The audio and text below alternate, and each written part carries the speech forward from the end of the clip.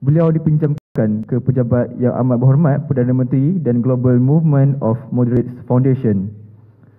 Sekarang, beliau merupakan fellow penyelidik kanan dan pengurus korporat ICSIN. Dengan itu, saya menyerahkan majlis ini kepada Tuan Moderator iaitu yang amat berhormat, maafkan saya, yang berbahagia, Tuan Haji Zainal bin Zaiduddin, Fellow Kanan Institut Kajian Strategik Islam Malaysia ICSIN majlis dengan segala-gala hormatnya mempersilakan.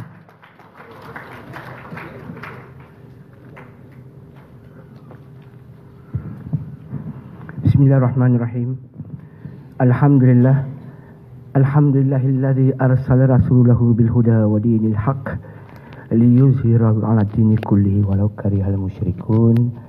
Asyhadu an la ilaha illallah wahdahu la syarikalah wa asyhadu anna Muhammadan abduhu wa rasuluhu. Allahumma salli wa sallim wa barik ala sayyidina Muhammad wa ala alihi wa sahbihi wa sallam. Rabbi syrah li sadri wa yassir li amri wa hlul 'uqdatam min lisani yafqahu qawli. Assalamualaikum warahmatullahi wabarakatuh. Yang dihormati pengurusi majlis, yang dihormati yang berbahagia Datuk Syekh Abdul Halim Kadir selaku Yang Pertua Persatuan Ulama Malaysia yang berbahagia Tuan Haji Muhammad Jamaluddin Syamsuddin, pengurusi Aksin. Yang dihormati Tuan Speaker Datuk Paduka Muhammad Bakar yang telah memberikan uh, pencerahan yang cukup indah pada pagi ini sebagai pembuka bicara wacana ilmu kita pada hari ini. Barisan panelis yang kita jemput pada hari ini, tuan-tuan dan puan-puan. Majlis uh, ilmu seperti ini teringatkan saya kata-kata seorang uh, ilmuwan yang telah meninggalkan kita. Almarhum uh, Syekh Muhammad Uthman Al-Muhammadi. Dia pernah menyebut kalaulah tiram itu tidak menenggelamkan dirinya ke dasar laut barangkali ia tidak dapat menghasilkan mutiara yang nilai harganya begitu tinggi. Ini bermaksud hanya ilmuwan atau seseorang yang memiliki pengetahuan yang dapat menyaringkan dirinya daripada difitnah daripada tidak dapat uh, menyingkirkan maklumat-maklumat yang palsu.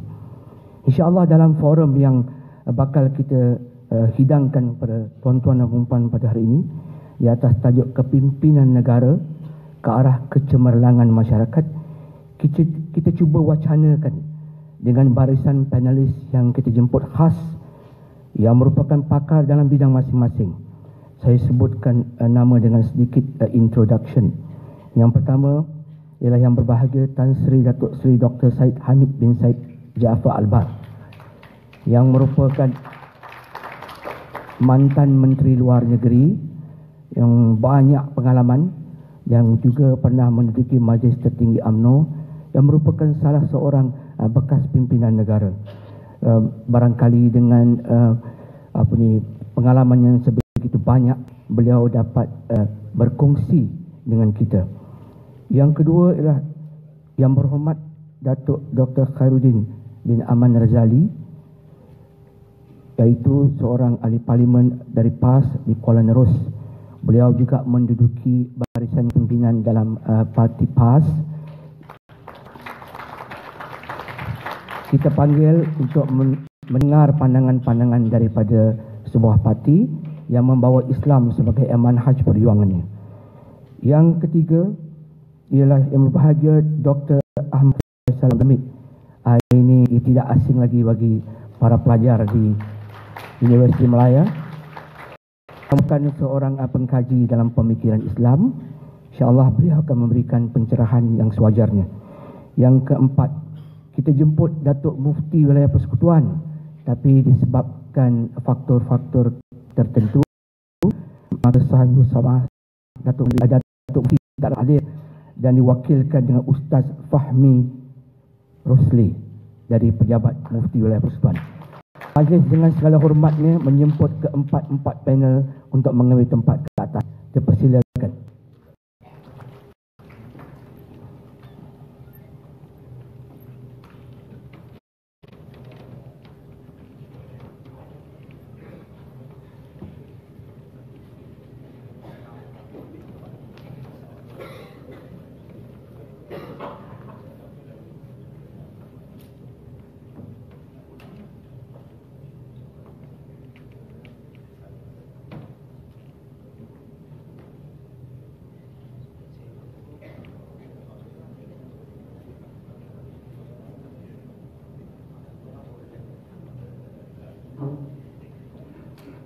Sedikit makluman berkaitan uh, forum kita pada hari ini.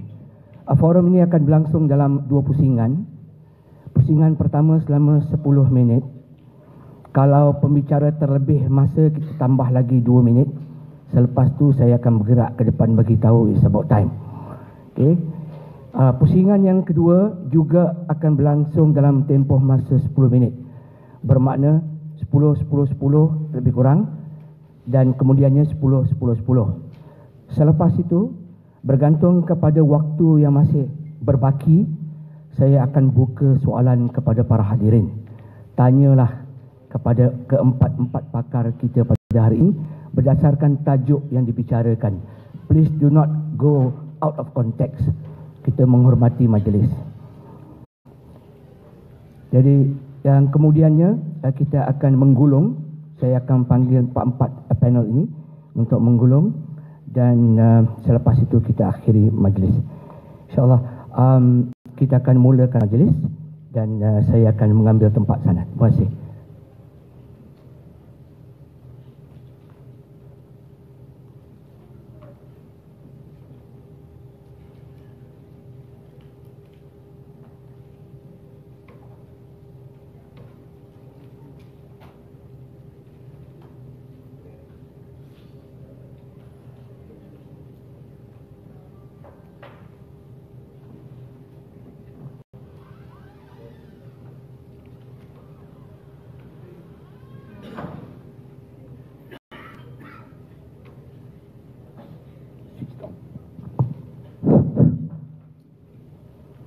Para hadirin sekalian, um, kita akan uh, memulakan majlis forum ini dan uh, kita harap kita dapat jalankan majlis forum ini dalam keadaan santai. Jangan uh, tension sangat. Eh? Ya, kita relax sikit supaya kita, wacana kita uh, lebih baik. InsyaAllah um, panel boleh memilih sama ada mengambil uh, podium untuk berbicara ataupun uh, sambil bercakap di tempat duduk. Saya nak ajukan uh, soalan uh, pembuka tirai lah dalam majlis forum pada pagi ini di atas judul kepimpinan negara ke arah kecemerlangan masyarakat kepada yang berbahagia Tan Sri kita. Selaku mantan Menteri Luar Negeri dan pernah menduduki tampuk kepimpinan negara Tan Sri ya. Dalam konteks negara kita lah pada hari ini agaknya apakah ciri-ciri utama kepimpinan negara yang sedang menuju ke arah kecemerlangan sebagaimana tajuk forum kita pada ini. Jadi ciri-ciri mana yang yang hendak di, di, diutamakan? Silakan Tan Sri sebagai membuka tirai pada pagi ini.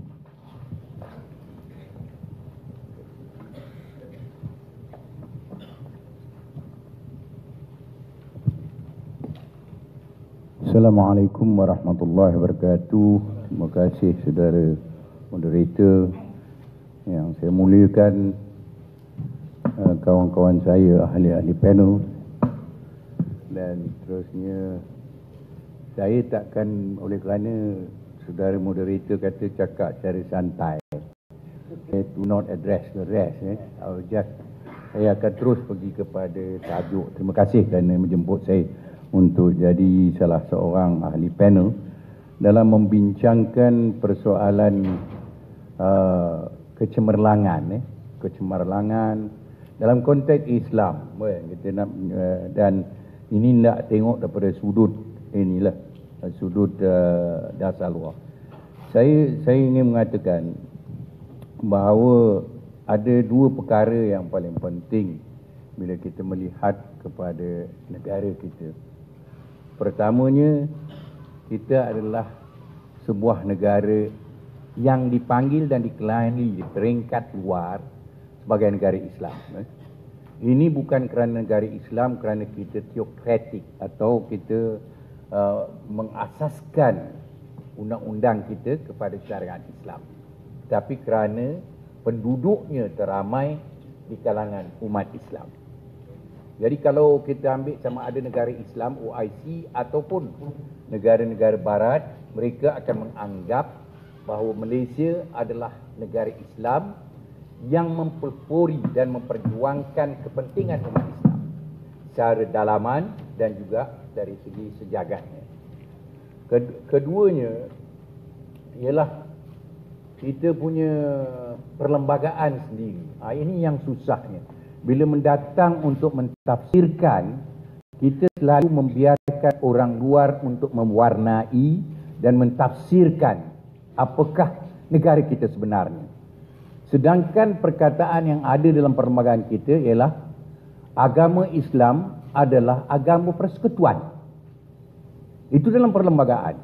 Itu bermakna satu undang-undang asas dalam negara kita. Apa juga kita nak buat, kita mesti melihat bahawa asasnya negara ini adalah negara persekutuannya adalah Islam. Jadi oleh itu penting sekali kita beri terjemahannya. Pasal apa yang ada ialah pokoknya dia mengatakan agama persekutuan. Orang mengatakan no, this state is secular. Negara ini adalah sebuah negara sekular dan tidak mempunyai langsung soal-soal terhadap ia nak menjadi sebuah negara Islam. Jadi kerana kita lebih defensif dan kita tidak ofensif, bukan ofensif untuk kita berperang, tapi ofensif untuk menterjemahkan apa kita punya founding fathers. Kita punya orang-orang yang mula-mula mengapa mereka meletakkan agama persekutuan. Tapi di masa yang sama kita memberikan perlindungan kepada agama agama lain. Itu dengan sendirinya adalah intipati Islam. Kerana Islam walaupun kita adalah sebuah negara yang majoriti Islam dan apa tu berasaskan pada syariat, kita perlu kepada melindungi kaum-kaum lain dan agama-agama lain. Tapi saya tengok oleh kerana tafsiran, penterjemahan, kita nampak long lie sikit. Eh? Kita biarkan kepada orang lain untuk memberi maksud dan makna. Akhirnya, kita kena mempertahankan kedudukan kita. Eh? Jadi saya, saya fikir ini perlu kita tukar. Apa kita kata kalau kita punya tugas kalau kita nak menjadi pemimpin? Nak, nak mendirikan negara Islam yang cemerlang. Pertamanya kita kena membina individu yang cemerlang akhlak yang mulia. Orang-orang yang mempunyai nilai yang tepat, yang kasih dan sayang kepada asasnya Al-Quran dan Sunnah. Kita nampak ada ketakutan pada saya untuk kita memberi terjemahan bahawa negara ini adalah negara yang tidak akan semenjak kita merdeka lah saya balik pada semenjak kita merdeka adakah pernah negara ini menginai kaum-kaum lain tak ada itu adalah antipati kita sebagai umat Islam yang mempunyai kelembutannya, pendekatan yang ini. Jadi dengan itu kita perlu kepada dasar luar kita. Eh. Saya balik pada dasar luar. Bila kita tengok dasar luar ini adalah hubungan atau interaksi kita dengan negara-negara luar. Secara bilateral atau secara multilateral. Secara hubungan dua hala ataupun secara hubungan berbagai hala. Bila kita cakap hubungan berbagai hala ini bermakna bersatuan di peringkat rantau ataupun antarabangsa. Berbagai hala kita ada ASEAN, kita mula-mula untuk menunjukkan kemerdekaan kita dan negara yang berdaulat, kita menjadi sebahagian daripada ahli bangsa-bangsa bersatu.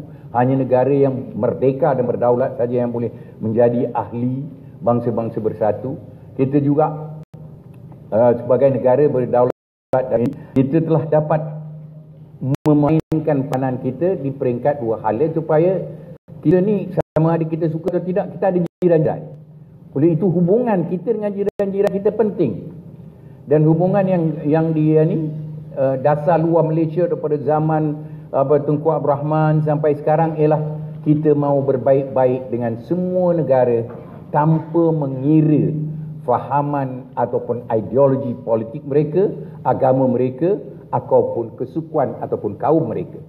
Okay? Dia adalah sesuatu yang amat umum sekali. Kita mahu berbaik-baik. Dan apa ya asas berbaik-baik? Ada dua asas untuk kita berbaik-baik. Satu ialah dia kita melihat dalam konteks apakah manfaat yang akan dapat kita perolehi dengan berbaik-baik dengan negara lain. Kalau negara-negara jiran, kita tengok bila kita tidak berbaik-baik dengan Soekarno, bila kita menubuhkan Malaysia, maka menganggap sebuah ini adalah satu program neokolonialisme dan neoimperialisme. Maka dia declare peperangan terhadap kita konfrontasi. Kita ingat tu. Dan bila konfrontasi kita tengok kita punya kawasan ini tidak aman. Mau kita mau melihat kawasan kita dan rantau kita aman, maka akhirnya berakhirnya kompetisi kita menubuhkan ASEAN. Sebagai tujuan kita, bagaimana Profesor Muhammad Bakar kan kata tadi bahawa kita nak tentukan bahawa kita dapat menjalankan pembangunan. ASEAN ditubuhkan di atas asas tidak mau campur tangan di dalam hal ehwal negara lain dan mengiktiraf kedaulatan dan kebebasan negara. Don't interference. Dia punya itu. Dan kita dapat fokus kepada soal-soal pembangunan. Jadi itu satu. Keduanya ialah nak bercakap berkenaan Islam, negara Islam dan hubungan yang berteraskan pada Islam menjadi lebih sulit dengan perkembangan geopolitik baru. Iaitu bukan lagi berasaskan masa Islam mula-mula the first globalization adalah diperkenalkan oleh agama kita. Konsep of umatik. Tak ada border tak ada apa. You boleh masuk dapat satu. Is that the first globalisasi yang kita sebenarnya ada kita tidak ada nasionalisme. Kita tidak mempunyai sikap nasionalisme tapi kita melihat kepada kepentingan umat. Itu bila kita berakhir dengan khalifah punya sistem maka mulalah kita melihat bukan lagi dalam konteks kita sebuah negara Islam atau negara-negara Islam termasuk dalam OIC yang pentingnya adalah kepentingan nasional. National interest. National interest ini menjadi menghantui dan menghambat kita di dalam kita mahu melahirkan satu negara Islam ataupun satu kesatuan Islam dengan itu kita ber, tidak lagi bertindak berasaskan kepentingan agama kita dia lebih berasaskan kepada kepentingan negara.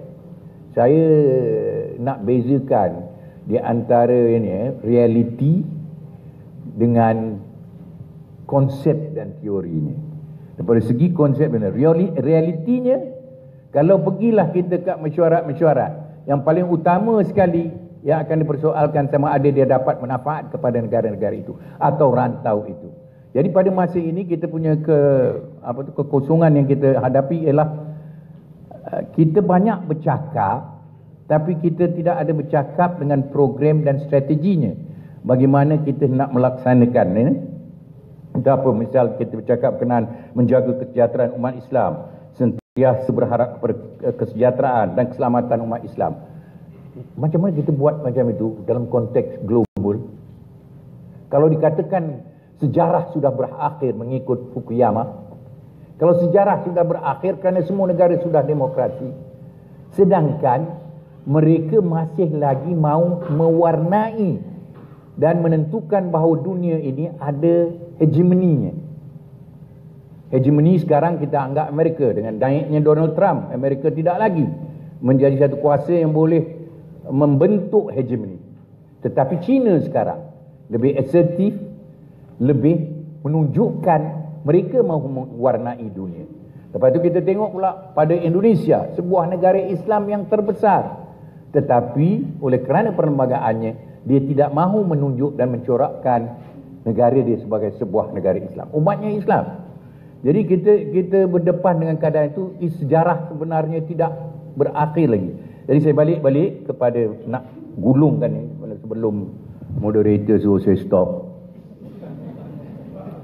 Nak bercakap berkenaan dasar luar. Negeri saya yang sebenarnya fikir banyak-banyak. Kita dah tak ada uh, masalah kita pada hari ini nak capai kemenangan pasal masyarakat tidak lagi berasaskan ilmu tu masyarakat tak berasaskan ilmu susah peranan ilmuan mesti ketengahkan orang yang mempunyai idealisme orang mempunyai ini supaya kita dapat membina ini kita bercakap ikut sedap rasalah so susah sikit So go back to Malaysia punya dasar luar. Apa macam macam mana kan? Mula kita ikut barat. Tengku kata kita negara baru kita ikut semua barat. Anti komunis. Lepas tu zaman tu Razak kita ikut barat tapi kita nak bebas.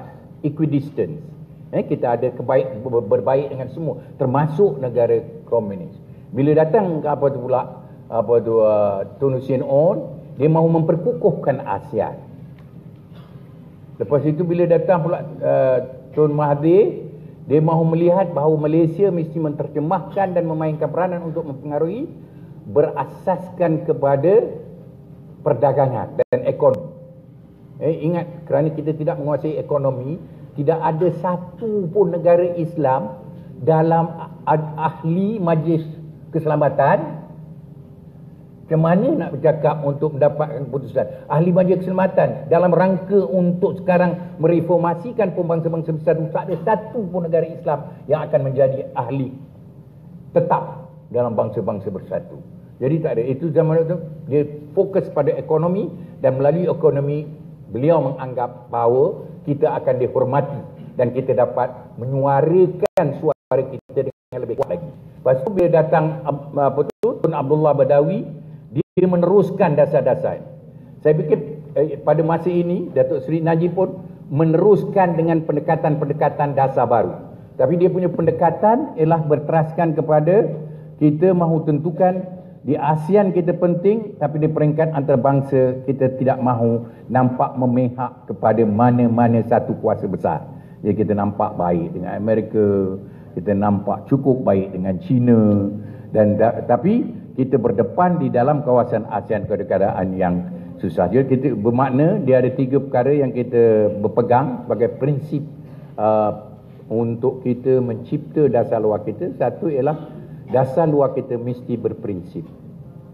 Mana kita menjadi juara untuk Palestin, kita menjadi juara untuk Bosnia, kita menjadi juara untuk Myanmar punya Rohingya punya masalah.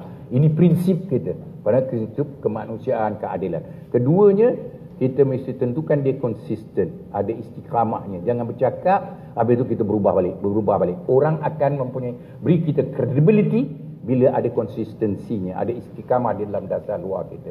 Lagi satu ni ini adalah campuran daripada ideologi dan pemikiran barat eh.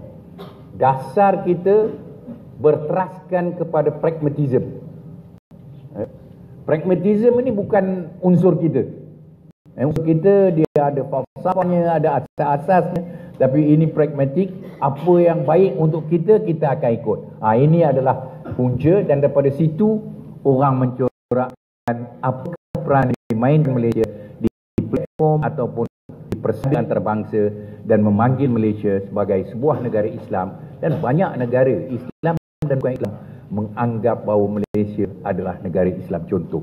Ini jangan kita eh, pasal dasar-dasar kita telah membawa kesejahteraan, telah membawa ke, kebahagiaan. Kita punya proses ialah kita tidak mahu makan tapi di masa yang sama kita mencerapkan tanpa orang berasa dia ter apa tu uh, ditekan. Jadi ini adalah sesuatu perkara yang baik dan saya harap saya anggap bahawa dasar ini akan diteruskan dan kita akan dapat memainkan peranan di semua bidang di peringkat antarabangsa sama ada ekonomi, politik, sosial, sosio budaya, keselamatan ataupun ekonomi. Dan melalui kekuatan empat uh, ini kita dapat memainkan peranan yang lebih bermakna dan mereka akan memandang Malaysia adalah sebuah sebagai satu sebuah negara yang dapat bukan sahaja mendaulatkan agama Islam tapi dapat menjuarakan kedudukan dan kepentingan umat Islam. Terima kasih. Terima kasih Tan Sri. Satu pembukaan yang mantap di atas tajuk kita kepimpinan negara ke arah kecemerlangan masyarakat. Tan Sri bermula dengan menjelaskan bagaimana Islam pasak sebagai agama persekutuan dalam perlembagaan kita dalam perkara 3 kurungan 1. Ditambah pula dengan sumpah yang di-Pertuan Agong untuk memelihara Islam. Ha, ini saya tambah. Dalam perlembagaan kita, dalam jadual keempat, ini menafikan kata-kata yang menyatakan bahawa Malaysia sebuah negara sekular. Jadi tak mungkin sebuah negara sekular, ketua negara ini mengangkat sumpah dengan lafaz Wallahi, Wabillahi, Watallahi. Tak mungkin. Ya. Tuan-tuan dan perempuan, kita lanjutkan pembicaraan kita. Kali ini kita nak pergi kepada sesuatu yang lebih akademik lagi. Jadi tokoh akademik yang ada kat sini nampaknya Dr. Ahmad Faisal Abdul Hamid lah kena jawab ya. okay. Um, doktor, um, dalam pengkajian yang Dr. Uh, Arif tentang sejarah Islam, kita dapati ramai tokoh-tokoh uh, sejarah dan pemikir Islam membicarakan tentang soal masyarakat, soal negara.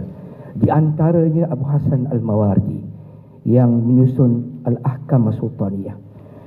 Apakah mungkin lagi relevan teori-teori yang dikemukakan oleh penulis dan sarjana Islam ini masih boleh dijadikan contoh paling tuntas ciri-ciri kepimpinan negara pada hari ini. Apakah wujud ciri-ciri itu terkini, Doktor? Silakan. Assalamualaikum warahmatullahi taala wabarakatuh. Terima kasih Tuan Moderator yang dihormati Tan Sri Datuk dan sahabat daripada pejabat mufti khususnya tuan-tuan dan puan-puan. Uh, saya tak adalah tokoh eh tuan-tuan. Dia orang minta tolong bincang, bincang je lah gitu. Tapi tak adalah kelentong, gitu je lah eh. uh, pertama sekali saya bercerita tentang uh, perkembangan konsep eh. Dulu saya belajar pondok. Jadi masa saya belajar pondok tu saya faham agama ni copy paste. Copy paste, copy paste, copy paste eh. Jadi saya percayalah apa yang ada dalam kitab tu kita kena copy paste. Buat gitu. Lepas tu tahu macam mana takdir Allah masuk universiti. Jadi pensyarah. Mula diperkenalkan dengan berfikir aras tinggi, analytical thinking, sintesisnya macam-macam. Maka saya dah mula tak percaya dengan copy paste. Maka dilihat kembali kepada tulisan-tulisan ulama dulu. Maka saya dapati bahawa tidak ada satu perkara yang ada dalam agama kita ini diminta kita copy paste agama minta kita faham apa yang agama sarankan kemudian bila menterjemahkannya maka penterjemahan itu mesti melihat realiti orang yang kita hidup tadi. Misalnya kita semua tahu ya bahawa agama langit itu ada tiga, Yahudi, Kristian, kemudian akhirnya baginda sallallahu alaihi wasallam Islam. Semuanya datang dari Tuhan yang sama. Yahudi pun datang dari Allah, Kristian pun datang dari Allah, Islam pun datang dari Allah. Cuma yang kita herannya kenapa bila Islam datang banyak perkara yang sudah sedia ada dalam agama Yahudi, Kristian walaupun ianya diterima dalam agama Islam tapi diubah suah. Itu menunjukkan bahawa tak ada copy paste. Perkara itu ada juga. Semayang. Ada dalam Yahudi, ada dalam Kristian, ada dalam Islam tapi semayang Islam lain. Sebab orangnya dah lain, masyarakat dah lain. Hukum pun sama. Orang mencuri tetap kena hukum. Tapi bila sampai pada Islam hukumnya tidak sama seperti Yahudi dah. Kerana orang sudah berubah. Orang berzina tetap sama. Berzina itu tak, tak ada agama langit yang kata tak salah. Tapi bila hukumnya dia berubah jadi bila lihat begitu dan Tuan Moderator kata boleh pakai lagi tak yang ulama dulu tulis saya rasa makna boleh pakai tu apa Adakah makna boleh pakai tu boleh copy paste? Jawabnya tak boleh. Boleh copy paste tak? Tapi kalau pakai dengan makna mengambil faham, konsep, saranan, kemudian kita wacanakan balik, kita bentuk balik dalam kerangka kita, maka itu iya. Itu betul. Jadi sebab itulah kita lihat apabila umat Islam menempani barat maka ada umat Islam yang ambil slogan yang betul tetapi menterjemahnya tidak menjadi contoh. Misalnya slogan mengatakan kita semua kena kembali kepada Al-Quran dan Sunnah. Memang betul lah. Slogan itu betul sangat. Sama juga slogan yang disebut oleh Amru bin Al-As. Bila dia nak kalah perang dengan Ali dia kata kita kembali kepada Quran. Maka Ali kata tu slogan tu tipu tu. Ah, ambo orang Kelantan minta maaf. Kata slogan tu betul tapi dia, dia dia tipu tu. Maksudnya bila dah nak kalah perang baru keluar slogan balik-balik-balik Al-Quran maka Ali kata jangan percaya slogan tu. Tapi oleh kerana masyarakat ramai yang tak boleh berfikir maka akhirnya peperangan memehak ke Muawiyah jadi saya tak katalah slogan kembali pada Quran Sunnah itu salah ya cuma persoalan seperti Tan Sri sebut kita tidak bercakap tentang bagaimana nak buat Jadi bila sebut bagaimana nak buat, maka itulah yang menjadikan kita berbagai, berbeza dan sebagainya. Maka ada sebahagian di kalangan kita yang nak pulang ke zaman Nabi dengan copy paste. Maka kita dapati kita menghadapi masalah. Dan sebahagian ada yang nak pulang ke zaman Nabi secara konsepnya. Apabila dibawa ke tanah Melayu, dibentuk dalam bentuk Melayunya. Maka sebab itu orang Melayu ialah orang yang paling keliru apabila dia nak pulang ke agamanya. Misalnya kalau kita nak jadi warak je tu jadi Arab. Saya pun heran.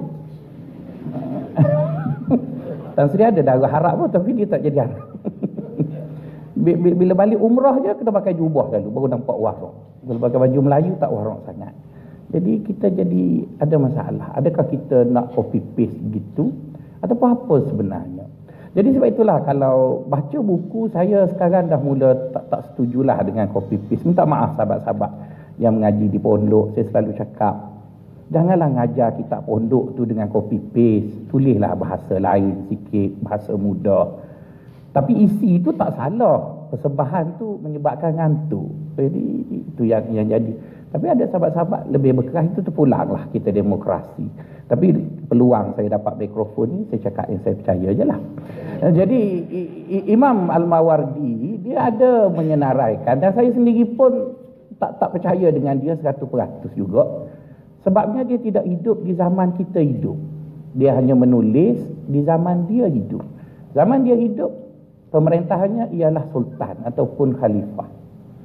Maka bentuk sebuah negara dibentuk dalam kerangka itu. Bila mari ke negara kita, kita demokrasi pun ada, sultan pun ada. Maka takkanlah kita nak bawa apa yang Mawardi tulis 100% baru kita kira kita sudah Islam tidak kita tidak menolak yang Mawardi tulis kita tidak tolak Malik bin Nabi tulis kita tak tolak cuma kita baca semua cuma kita gagaskan konsep itu sesuai dengan kita jadi asasnya Al-Mawardi sebut dalam beberapa tulisannya beliau mengatakan sebuah negara yang harmoni itu paling kurang ada 4 5 asas jadi pada saya kita mewujudkan benda itu tetapi tidak membentuknya seperti Mawardi bentuk. Kerana Al-Mawardi lebih awal lagi pada awal-awal sebelum negara apa-apa sebelum tamadun Islam itu jatuh tersungkur dia bercakap tentang begitu. Dan kalau kita tengok sendiri pun tuan-tuan, baginda 40 tahun dia observasi orang Mekah. Dia, dia tengok orang Mekah tu macam-macam. Abu Jahal perangainya macam ni, Abu Sufyan perangai macam ni, Ikrimah pakai macam ni. Maka semua observasi yang dibuat oleh baginda itu menjadikan beliau tahu bagaimana nak urus orang Mekah. Kemudian sebelum pergi ke Madinah, baginda tak terus pergi, dia suruh duta je pergi ke Madinah tiga tahun, baru Nabi pergi. Jadi itu menunjukkan kepada kita apa yang diturunkan oleh Allah untuk Nabi buat. Nabi buat tetapi mengikut bentuk yang ada dalam masyarakat pada ketika itu. Jadi jika konsep-konsep yang ada pada Nabi buat semasa di Mekah Madinah diatasi dalam pembinaan sebuah negara, pada saya Islam lah tu. Islam lah tu. Tapi tak semestilah kena ikut sirah Nabi tiga tahun pertama perubahan parti politik senyap-senyap dulu. Tiga tahun kedua baru iklan sebab kita dah kena atas bukit sofa. Betul kan? takkanlah sampai sesunnah itu nak nak menubuhkan parti politik periodisasi itu tidak kudus pun periodisasi itu dibuat saya mengajar sirah saya tak pernah sebut istilah serupa dengan ulama lain sebut sebab saya juga pencarah takkan saya kena ikut orang periodisasi itu tidak tidak misalnya sebahagian besar ustaz mengatakan ustaz-ustaz mengatakan bahawa khulafa rasyidin itu ada empat saya kata lima Murid kata kenapa ustaz pelik pada orang? Ikut saya lah. Subjek saya ajar. Tapi nak kata saya salah, tak juga. Nak kata saya salah, tak juga. Sebab periodisasi itu dibuat oleh ulama. Dan saya tak kata ulama lain salah. Jadi ulama yang biasa sebut, Khulafat Rashidin itu empat. Abu Bakar, Umar, Uthman, Ali. Saya kata lima. Hussein. Eh, Hasan. Juga khalifah. Walaupun sekejap, tapi dia dilantik lantikannya sah. Dia cucu Nabi. Saya bukan syiah. Saya bukan syiah. Ini sebuah asal ni cik. Bukan bukan syiah. Betul bukan. saya semayang tuan-tuan. Saya sunni tapi Hasan itu lepas pandang oleh penulis sejarah.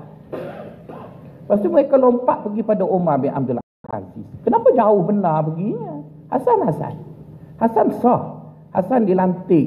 Bayahnya dapat daripada orang Madinah orang Mekah. Kenapa tak masuk dia dalam senarai khulafak kau kena, kenapa Ustaz ajar macam tu Ya sebab nak beritahu periodisasi itu bukan suci. Yang sucinya data tu.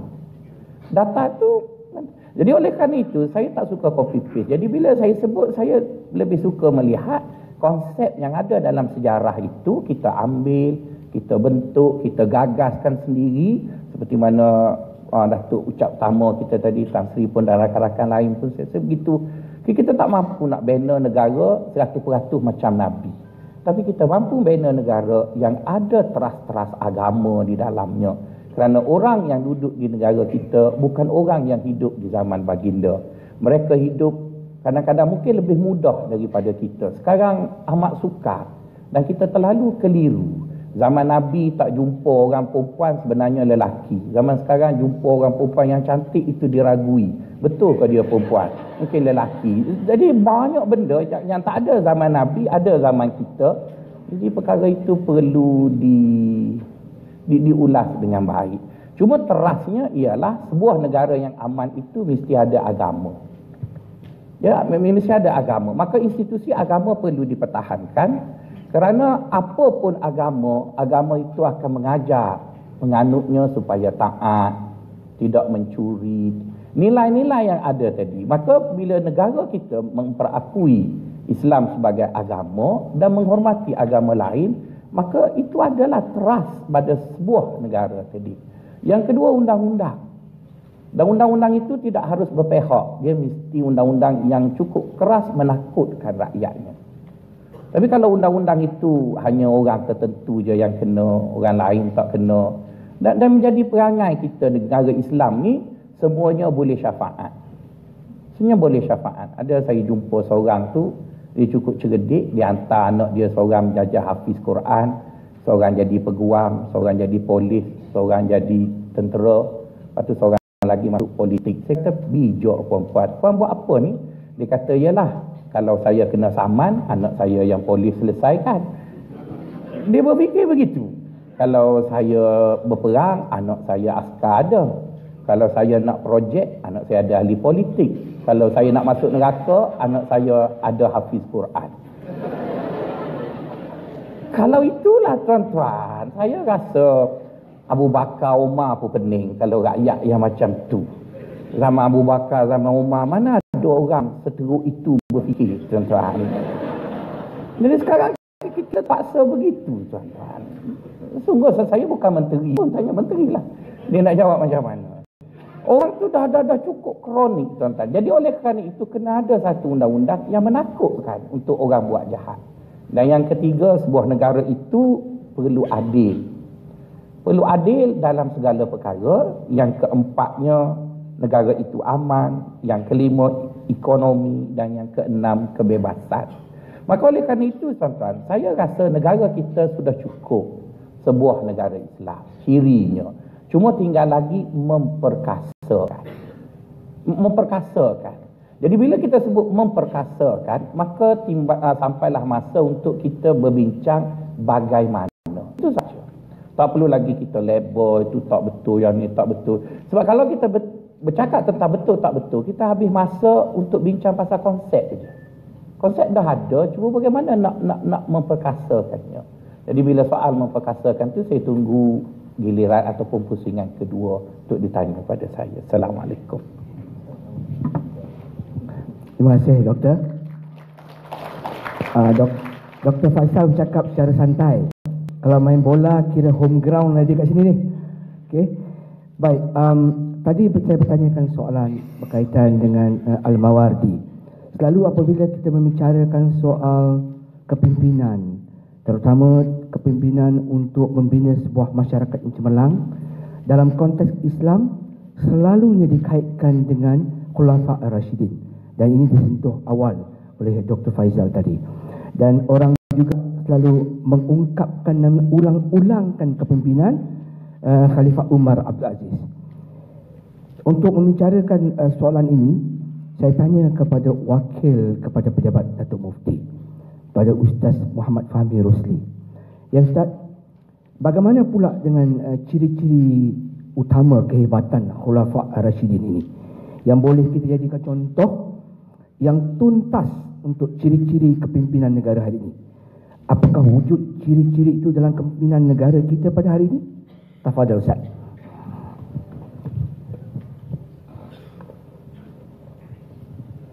Assalamualaikum warahmatullahi wabarakatuh.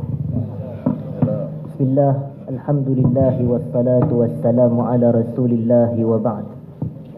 Terima kasih saya ucapkan kepada yang berusaha moderator yang berbahagia Tan Sri Said Hamid Alba yang berhormat Ahli Parlimen Kuala Nerus Dato' Dr. Khairuddin Takiri Seterusnya yang berbahagia Sahibul Fadilah Dr. Faisal Dato'-Dato' Ahli-ahli ilmu Para alim ulama Para penganjur forum kita pada hari ini Seterusnya muslimin dan muslimat yang dirahmati Allah sekalian. Alhamdulillah Pertama sebelum saya pergi terus kepada menjawab soalan yang berusaha moderator Suka untuk saya sampaikan permohonan maaf Keuzuran daripada saya bersamahah Mufti Wilayah Persekutuan Yang tidak dapat hadir bersama kita dalam majlis yang begitu bermakna seperti ini Beliau juga menyampaikan salamnya kepada tuan-tuan dan puan-puan semua Hadirin dan hadirat yang dirahmati Allah Apabila saya diberi peluang duduk bersama-sama dengan barisan penulis yang begitu hebat, ada ahli politik, ada ahli akademik, maka saya tak tahu nak meletakkan diri saya pada ahli yang mana satu. Jadi saya nampak betapa kerdilnya saya di hadapan para panelis kita yang bijaksana ini. Tetapi saya hanyalah menjalankan amanah dan tanggungjawab yang diberikan oleh saya bersama bos saya kepada saya. Kalau nak dinilai dari sudut keintelektualan, dari sudut kepakaran dalam kepimpinan siapakah saya yang baru berusia 26 tahun ni untuk bercakap di hadapan orang-orang yang hebat-hebat dan berusia lebih daripada saya banyak eh, banyak pengalaman banyak kepakaran dan banyak keilmuan tetapi qadarallahu wa syaa fa'al saya akan insya-Allah cuba sebaik mungkin untuk menjawab persoalan yang diajukan oleh yang berusaha moderator kepada saya itu tadi. Pertama tuan-tuan, kenapa menjadi kebiasaan? Kalau nak diikutkan contoh teladan kepimpinan yang baik, biasanya orang kita akan terus pergi kepada Khulafa'ur Rashidin. Hakikatnya ini adalah bukan suatu perkara yang salah pun. Maknanya dah memang menjadi suatu teladan kita atau menjadi sikap kita. Generasi yang terdahulu itu adalah generasi yang menghimpunkan kebaikan, manfaat yang banyak kerana mereka berada di bawah zaman nubuah Islamiyah. Mereka lahir daripada madrasah Nabi sallallahu alaihi wasallam. Maka sudah tentulah dari sudut pengaplikasian politik kepimpinan Islam dalam mentadbir sesebuah negara maka mereka ada asas-asas kepakaran dalam melakukan hal tersebut. Dalam Al-Quranil Karim di dalam surah Al-An'am ayat yang ke-60 saya minta maaf dalam ayat yang ke-90. Allah menyebut ulaika allazina hadallah fabihudahu muqtadi. Mereka itulah golongan yang mendapat hidayah petunjuk daripada Allah, maka dengan hidayah petunjuk mereka itulah kamu dituntut untuk mengikutinya. Kemudian Nabi kita alaihi salatu wassalam menyebut juga di dalam sabda baginda alaikum bisunnati wa sunnatil khulafa'ir rasyidin al mahdiyyin min ba'di addu 'alaiha bin nawajis hendaklah kamu mengikut sunnah aku dan sunnah para khulafa'ir rasyidin al mahdiyyin yang mendapat hidayah seperti yang disebutkan dalam surah al an'am itu tadi maka kita katakan hadirin dan hadirat yang dirahmati Allah maka tidak pelik untuk menjadikan asas kepimpinan para sahabat dan para khulafa'ur rasyidin sebagai teras kita untuk mencontohi kepimpinan yang telah mereka lakukan. Saya tertarik dengan pandangan ahli akademik kita sebentar tadi, Dr. Faisal Hafizahullah Ta'ala yang memberikan perkongsian yang agak berbeza kerana biasanya kita masyhur khulafa'ur rasyidin ada empat Tetapi saya juga setuju dengan pandangan tersebut sebagaimana kita bersetuju dengan pandangan yang mengatakan empat khulafa'ur rasyidin. Di dalam Sunan Tirmizi, Nabi kita alaihi salatu wassalam menyebut al-khilafatu salasuna syahra. Saya minta maaf, al-khilafatu salasuna sanah. Khilafah itu selama 30 tahun. Dan ini terbukti apabila Abu Bakar Siddiq memerintah umat Islam pada ketika itu dalam tempoh dua tahun. Diikuti dengan Sayyiduna Umar Al-Khattab yang memerintah selama sepuluh tahun. Diikuti dengan Sayyiduna Osman yang memerintah selama dua belas tahun. Dan Sayyiduna Ali yang memerintah selama enam tahun.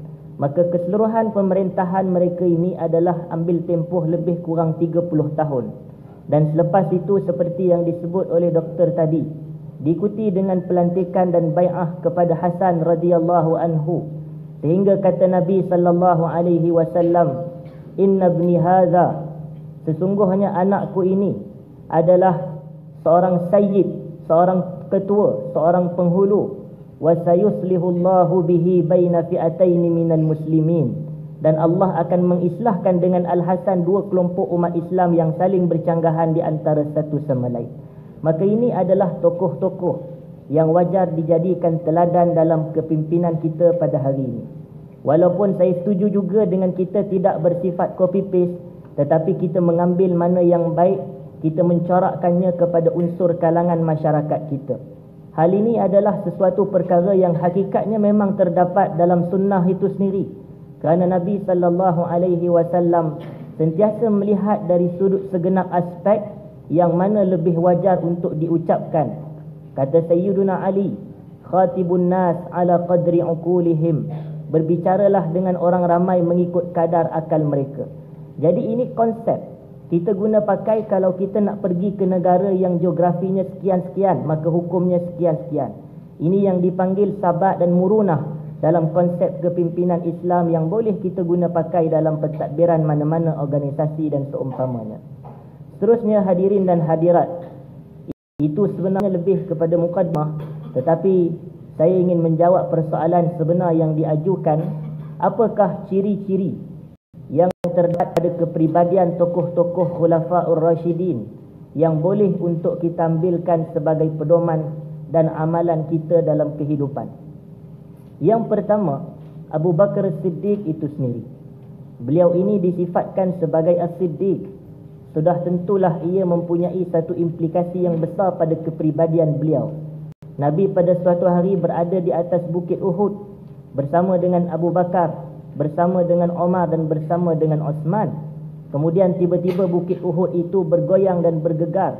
Nabi mengatakan alaihi salatu wassalam, "Usbut Uhud fa inna 'alaika nabiyyun wa siddiqun wa syahidan." Tetaplah kamu wahai bukit Uhud di atas kamu pada hari ini ada seorang Nabi, ada seorang Siddiq dan ada dua orang yang akan mati syahid. Iaitulah Omar dan Osman radhiyallahu anhuma. Jadi ini sifat Siddiq yang diberikan oleh Nabi sendiri kepada Abu Bakar. Maka kerana itu antara ciri keistimewaan yang membezakan Abu Bakar dengan sekalian para sahabat yang lain. Abu Bakar adalah seorang yang hakim, sangat bijaksana dan beliau menepati atau memiliki ketepatan dalam setiap pendapat yang beliau lakukan. Kerana itu apabila para sahabat mendengar berita kewafatan Nabi alaihi salatu suasana pada ketika itu begitu gundah gulana. Masyarakat seakan-akan kucar kacir. Semuanya bising dan mereka tertanya-tanya adakah betul Nabi telah wafat. Sehingga kan Omar mengatakan akan mengambil tindakan kepada siapa yang kata Nabi telah wafat. Tetapi Abu Bakar Siddiq tidak mengambil kira kesemuanya itu hatta kata-kata Omar. Dia bangun dan dia berdiri lalu dia mengucapkan Man kana ya'budu Muhammadan fa innahu ataupun fa inna Muhammadan qad mat. Wa man kana ya'budu Allah fa inna Allah hayyul la yamut. Wa ma Muhammadun illa rasulun qad khalat min qablihi ar-rusul afa imma ta'aw qutilan qalabtum ala a'qabikum maka terdiam keseluruhan para sahabat pada ketika itu mereka kata seakan-akan pada hari inilah kali pertama kami mendengar ayat tersebut maka ini ucapan biasa manusia dalam keadaan yang kucar kacir Orang tak tahu dalam keadaan yang gundah gulana dia sukar buat keputusan. Tetapi Abu Bakar sebagai pemimpin yang hebat. Dia mudah buat keputusan sehingga keputusannya menjadi keputusan yang tepat. Berdalilkan wahyu Tuhan. Lalu beliau mengatakan siapa yang mengibadat atau mengabdikan diri kepada Nabi Muhammad. Sesungguhnya Nabi Muhammad telah pun wafat. Dan sesiapa yang beribadah kepada Allah. Sesungguhnya Allah maha hidup tidak akan sekali-kali mati. Wa ma Muhammadun tidaklah Nabi Muhammad melainkan telah berlalunya para rasul sebelum daripada baginda. Adakah apabila baginda wafat ataupun baginda dibunuh maka kita akan berpaling daripada agama kita ini. Jadi ini antara ciri keistimewaan yang boleh kita ikut ada pada diri Abu Bakar Siddiq. Manakala Sayyiduna Umar ibn al-Khattab selaku manusia pertama yang mengguna gelaran Amirul Mukminin setelah Abu Bakar mengguna khalifatul Rasulullah sallallahu alaihi wasallam maka Umar Al-Khattab ini dia diberi gelaran sebagai Al-Faruq.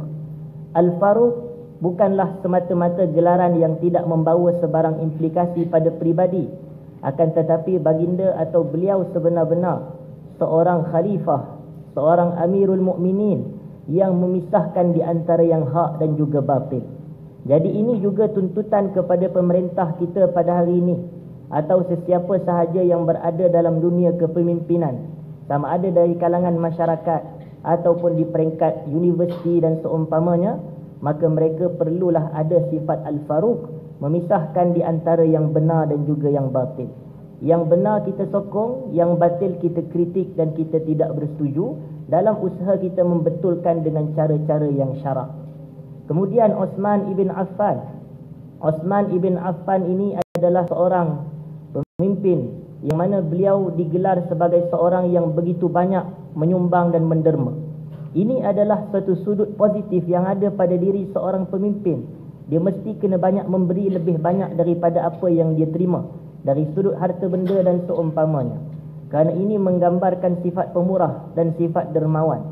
Kalau tuan-tuan pergi ke negara Arab Saudi pada hari ini, ada satu bangunan baru dia ke dan dicipta dan diletakkan wakaf Sayyidina Osman radhiyallahu taalaan. Menunjukkan wakaf daripada zaman beliau sehingga kepada hari ini berkekalan. Tanah itu beliau wakafkan untuk kegunaan dan kemaslahatan umat Islam setelah 1300 tahun yang lebih masih kekal sumbangan yang beliau berikan. Ini betapa besar pahala seorang yang berada pada kedudukan yang besar kepada tampuk kepimpinan untuk memperbanyakkan sumbangan, memberikan bantuan, menghulurkan sebang rezeki yang Allah kurniakan kepada dirinya, kepada masyarakat-masyarakat atau orang yang berada di bawahnya. Manakala sebagai menamatkan tempoh 10 minit ini, Sayyidina Ali radhiyallahu taala anhu disifatkan oleh Nabi ataupun disifatkan oleh sahabat ridwanullahi alaihim ajma'in sebagai dayyanu hadhil ummah. Dayyan hadhil ummah. Dayyan ni adalah seorang yang hakim yang menjadi pemutus yang menjadi menjatuhkan hukum. Kerana itulah maliki yaumiddin pada hari yang jatuhkan padanya hukuman. Dayyanu hadhil ummah adalah sayyidina ali bin abi talib maka beliau seorang pemerintah yang adil yang menjatuhkan hukuman pada tempatnya tidak pada hak secara yang batil. Maka ini juga adalah perkara yang patut kita contohi daripada para sahabat ridwanullahi alaihim ajma'in. Sebagai konklusi daripada persoalan yang dikemukakan oleh saudara moderator saya minta maaf yang berusaha moderator adalah firmanullah taala dalam surah al-qasas ayat yang ke-26 apabila Allah Subhanahu wa taala mengatakan inna khaira man istajartal qawiyul amin sesungguhnya seseorang yang baik seseorang yang layak diberikan upah untuk melakukan sesuatu tanggungjawab dan tugasan adalah seseorang yang memiliki dua sifat utama. Yang pertama al-qawi iaitu dia ada kompetensi dia ada kekuatan dan kesungguhan Manakala sifat yang kedua dia ada al-amin, dia ada integriti, dia ada adab dan akhlak. Maka al-qawi adalah sifat zahir bagi seorang pemimpin.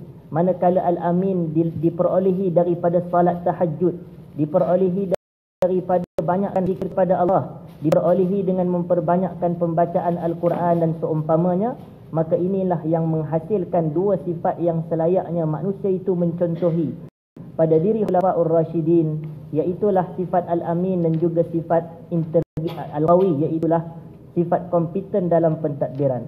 Saya rasa cukup sekadar itu orang muda tak boleh cakap lama-lama kerana kita memanfaatkan orang-orang yang jauh lebih bermanfaat daripada diri saya ini. Wallahu taala alam. Jazakallah khair Ustaz. Ha, itu dia wakil daripada anak muda kita ya. Dah istiharkan umur dia kepada semua. Baik, kita ada satu orang lagi panelis yang duduk dekat dengan saya. Dia tengok saya. Bila lagi turn aku ni. Okey. Sebagai mewakili parti. Ya. Datuk. Parti yang membawa mesej kepimpinan Islam. Saya nak tanyakan soalan. Ini baru round pertama. Soalannya tidak hangat. Round kedua lebih hangat lagi. Jadi kita santai dulu. Kita relax dulu. Yang berhormat Datuk. Selalu diperkatakan dalam perbincangan mengenai uh, politik dan society. Apa yang dimaksudkan dengan divine inspired democracy? Iaitu demokrasi yang diinspirasikan daripada divinity, daripada ketuhanan. Apakah boleh berlaku keadaan ini dalam keadaan temporal sekarang ini? Apakah ciri-ciri kepimpinan berasaskan ketuhanan ini relevan dalam konteks demokrasi hari ini? Silakan, Yang Berhormat.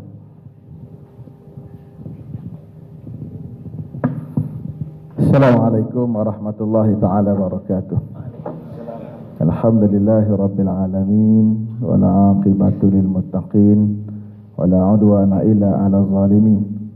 Wassalatu wassalamu ala Rasulillah wa ala alihi wa ashabihi wa man da'a bi da'watihi wastanna bi ila yaumiddin amma ba'd. Terima kasih kepada pengurusi majlis moderator program.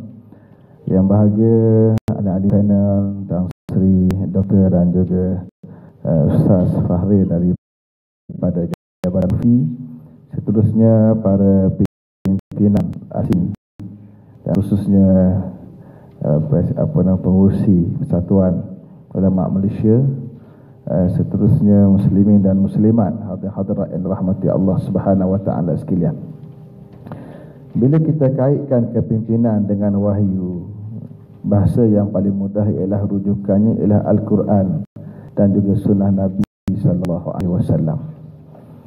Kan itulah bila kita bincang tentang kepimpinan, kepimpinan itu telah digariskan oleh Al-Quran dan juga sunnah Nabi sallallahu alaihi wasallam. Dan bila kita bincang tentang kepimpinan negara, istilah yang digunakan oleh Al-Quran dan juga hadis Nabi sallallahu alaihi wasallam itu istilah khilafah dan juga istilah imamah. Allah Ta'ala menyebut dalam kisah Daud Ya Daud inna ja'alnaka khalifatan fil Wahai Daud kami jadikan kamu khalifah di muka bumi. Fahkum bainan nas bil haqqi Maka hendaklah kamu merintah di kalangan manusia dengan kebenaran Wala tatabil hawa dan jangan kamu ikut hawa nafsu kamu Ini konsep iaitu seorang pemerintah hakikatnya adalah khalifah dan apa arti khalifah? Ini istilah yang digunakan oleh Al-Quran dan digunakan juga oleh Nabi sallallahu alaihi wasallam. Al-khilafah hakikatnya ialah niabatan an sahibi syara. Mewakili tuan punya pada syariat itu Allah Subhanahu wa taala dan juga mewakili Nabi sallallahu alaihi wasallam. Kerana itulah bila bincang tentang khilafah ulama beri takrifan sepanjang zaman ulama beri takrifan hampir sama iaitu khilafatun anin nubuwah fi iqamati din wa siyasati dunyabi iaitu mewakili kenabian atau menggantikan kenabian untuk menegakkan agama dan mentarbi bumi dengan agama itu dia konsep khilafah Berdasarkan konsep itulah maka umat Islam sepanjang zaman yang menjadi pemerintah terikat dengan dasar-dasar Al-Quran dan dasar hadis Nabi sallallahu alaihi wasallam dalam memerintah bumi Allah Subhanahu wa taala. Dikala mana dia gagal untuk mengikut dasar-dasar itu, maka berlakulah kepincangan. Berlakulah penyelewengan, berlakulah songsang dan sebagainya yang mengakibatkan akhirnya rakyat tidak mendapat kebahagiaan.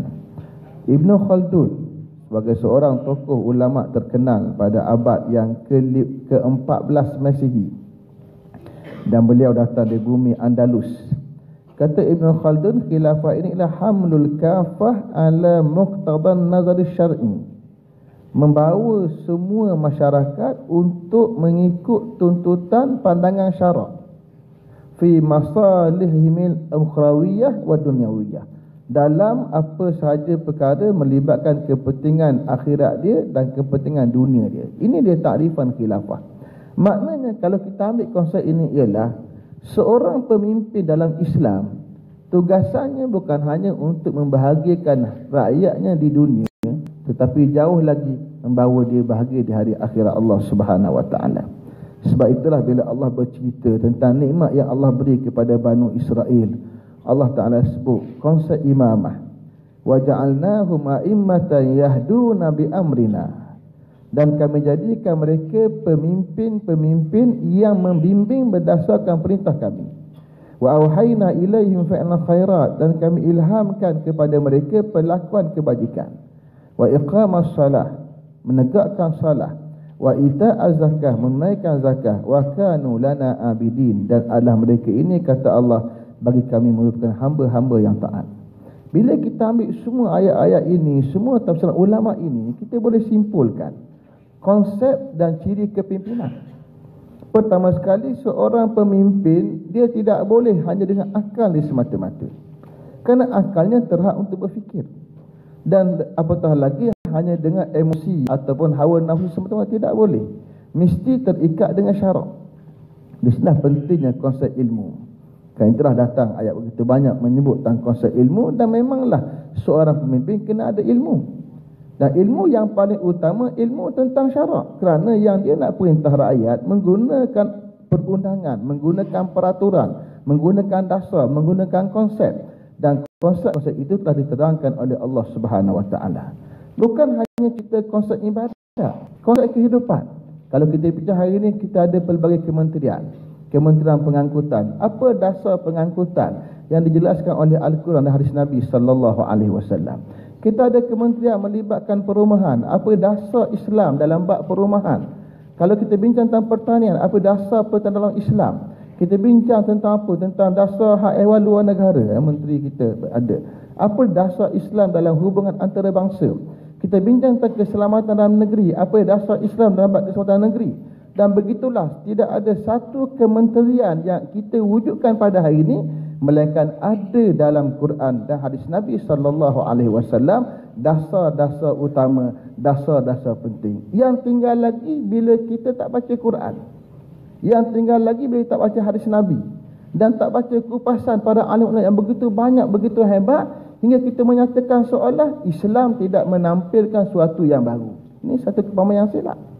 Kerana dia tidak baca, dia tak kaji, dia tak bahas, dia tak tengok, dia tak jumpa, dia kata tak ada.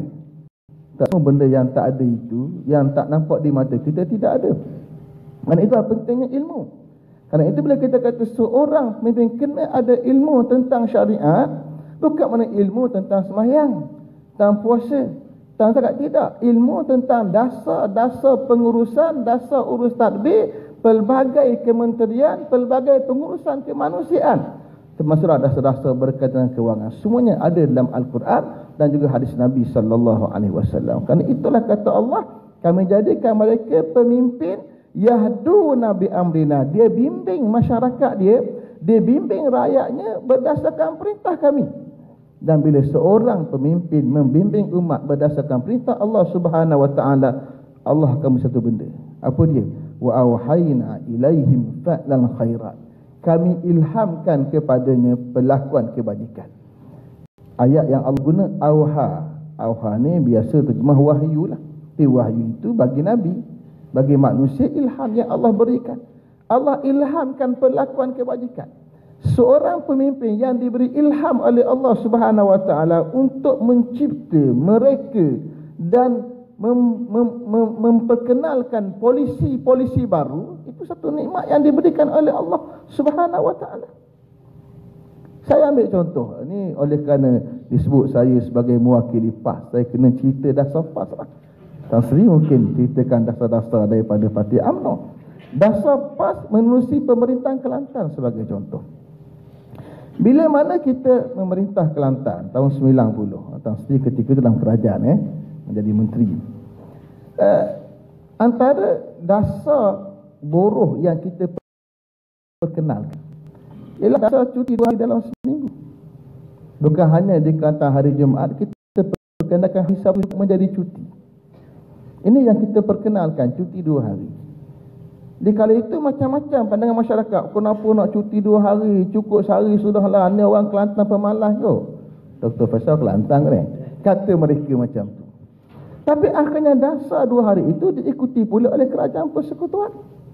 Bermula dengan menjadikan cuti hari Sabtu pertama dulu. Kemudian diekori dengan cuti Sabtu ketiga. Dan akhir sekali semua Sabtu cuti berlaku. Kita mulakan dasar itu dan diikuti oleh kerajaan persekutuan. Diilhamkan. Itu contoh dasar yang kita perkenalkan di peringkat negeri Kelantan. Dasar cuti bagi wanita bersalin yang asalnya hanyalah 40 30 eh, hari sahaja. Dan kita perkenalkan kemudian sebanyak 42 hari. Dan kita perkenalkan lagi 60 hari bila kita perkenalkan 42 hari kemudian diikuti kemudiannya oleh kerajaan persekutuan kita perkenalkan pula 60 hari. Selang 5 bulan kemudian diikuti oleh kerajaan persekutuan dan hari ini cuti 60 hari untuk wanita menjadi dasar buruh bagi negara kita. Ini contoh dasar-dasar yang kita perkenalkan. Dan saya yakin pada pemimpin yang membimbing masyarakat berdasarkan perintah Allah Subhanahu Wa Taala akan sentiasa diberikan ilham oleh Allah Subhanahu Wa Taala. Tak kira siapa ia tidak terbatas pada parti. Kita bukan bincang bab parti di sini. Kita bincang tentang pemimpin. Yang kewajipannya mesti pertamanya bimbing rakyat berdasarkan perintah Allah Subhanahu Wa Taala. Di Kelantan kita perkenalkan satu konsep urus tadbir. Di kala mana masyarakat bercakap tentang good governance urus tadbir yang baik yang ditakdirkan oleh PBB dan banyak pihak sebagai tiga dasar Pertama ada unsur accountability, unsur kebertanggungjawaban. Ada unsur transparansi, unsur ketelusan dan ada unsur efisiensi atau atau kita kata kecekapan. Ini tiga unsur. Tetapi Kelantan memperkenalkan satu dasar yang lebih jauh selangkah ke hadapan iaitu dasar urus tadbir rabbani. Bukan hanya urus tadbir yang baik, urus tadbir rabbani iaitu mengikat urus tadbir dengan Tuhan. Macam mana? Kita ambil ayat. Maka nabi basyarin an yu'tiyahullahu al-kitaba wal hukma wan nubuwata. Tak wajar bagi seorang manusia yang Allah beri kepadanya, Allah beri kepadanya al-kitab, Allah beri kepada al-hukma, al-hukma ditafsirkan oleh sebagian ulama dengan makna pemerintahan, wan nubuwata kenabian, summa yaqulu lin-nas Kemudian dia kata pada orang ramai, kunu ibadan li min dunin nas, min dunillah. Jadilah kamu semua hamba kepada aku lain daripada Allah Subhanahu wa taala. Berarti manusia mengajak seorang pemimpin, mengajak manusia jadi hamba dia. Tapi kata Allah, kunu rabbaniyin. Yang patut disebut jadilah kamu rabbani, orang yang ikut Tuhan. Ikut Tuhan macam mana? Di Kelantan kita perkenalkan konsep ummi. Umi ringkasan pada ubudiyah, mas'uliyah, itqan. Mas'uliyah itu cerita kebertanggung, kebertanggungjawaban. Itqan itu unsur kecekapan tapi ubudiyah. Pengabdian diri. Satu urus tadbir yang tak diikat dengan ubudiyah akan berlaku kesongsangan. Seorang pemimpin dia bukan hamba kepada rakyat. Dia bukan juga ketua ataupun pemilik kepada rakyat. Tapi adalah hamba kepada Allah Subhanahu wa taala. Maka seorang pentadbir yang merasakan dia hamba kepada Allah Subhanahu wa taala dia akan menyedari bahawa segala perlakuannya akan dipertanggungjawabkan. Bukan hanya oleh manusia menerusi pelbagai audit yang kita buat tapi lagi besar lagi audit Allah Subhanahu wa taala. Maka manusia pentadbir yang menyedari kerana itu dia lebih baik untuk menguruskan rakyat berbandingnya hanya bergantung pada audit manusia semata-mata. Yang ini tak perlukan manusia tapi Allah Subhanahu Wa Taala. Dan begitulah seorang yang meletakkan perhambaan diri kepada Allah Subhanahu Wa Taala dia pegang kaedah Allazi khalaqal mauta wal hayata liyabluwakum ayyukum ahsanu amala. Allah Taala yang menciptakan kehidupan dan kematian untuk uji kamu mana yang paling ahsan, mana yang paling comel, mana yang paling cantik dari sudut amalan dan tindakan dia. Maka ia akan mengajar seorang pemimpin untuk buat yang terbaik, yang berkualiti pada urus tadbirnya. Maka disitulah kita lihat kejayaan negeri Kelantan sebagai contoh hingga terakhir kalau kita lihat Eh, laporan audit negara memberikan penarafan 99% kepada pejabat Menteri Besar dan juga SUK Kelantan dan juga SPRM memberi penarafan bahawa Kelantan, kerajaan Kelantan bebas rasuah. Ini suatu benda yang besar bagi saya. Kerana apa?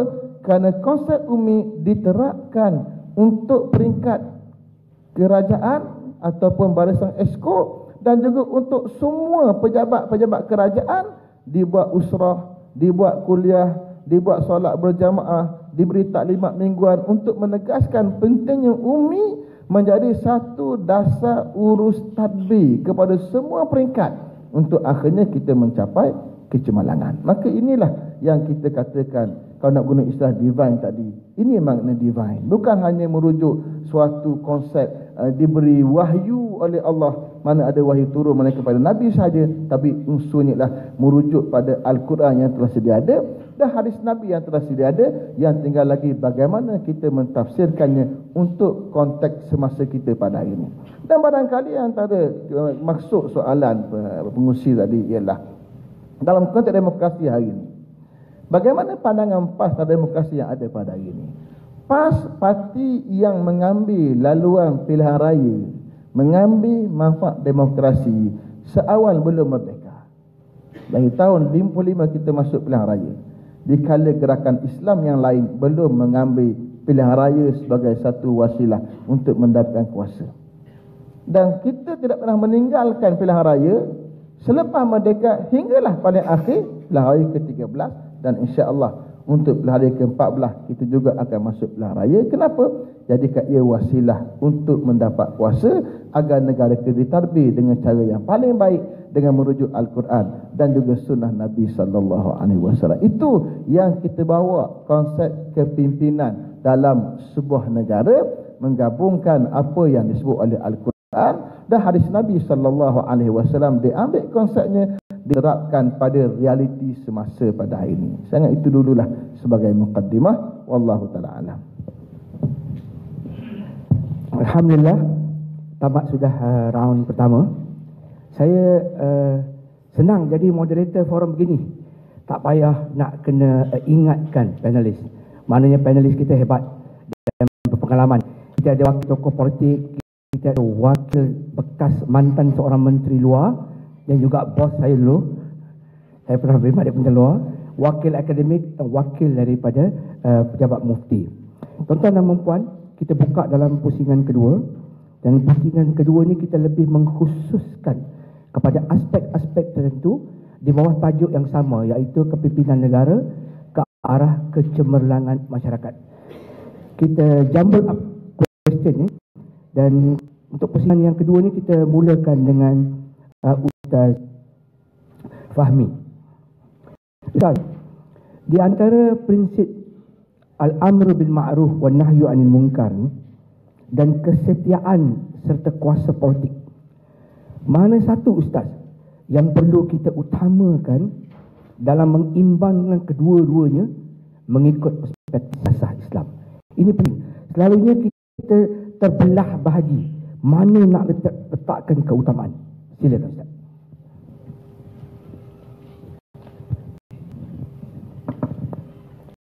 Baik, bismillah, alhamdulillah. Wassalatu wassalamu ala rasulillah. Terima kasih kepada yang berusaha moderator di atas soalan yang baik Ditujukan kepada saya sebentar tadi.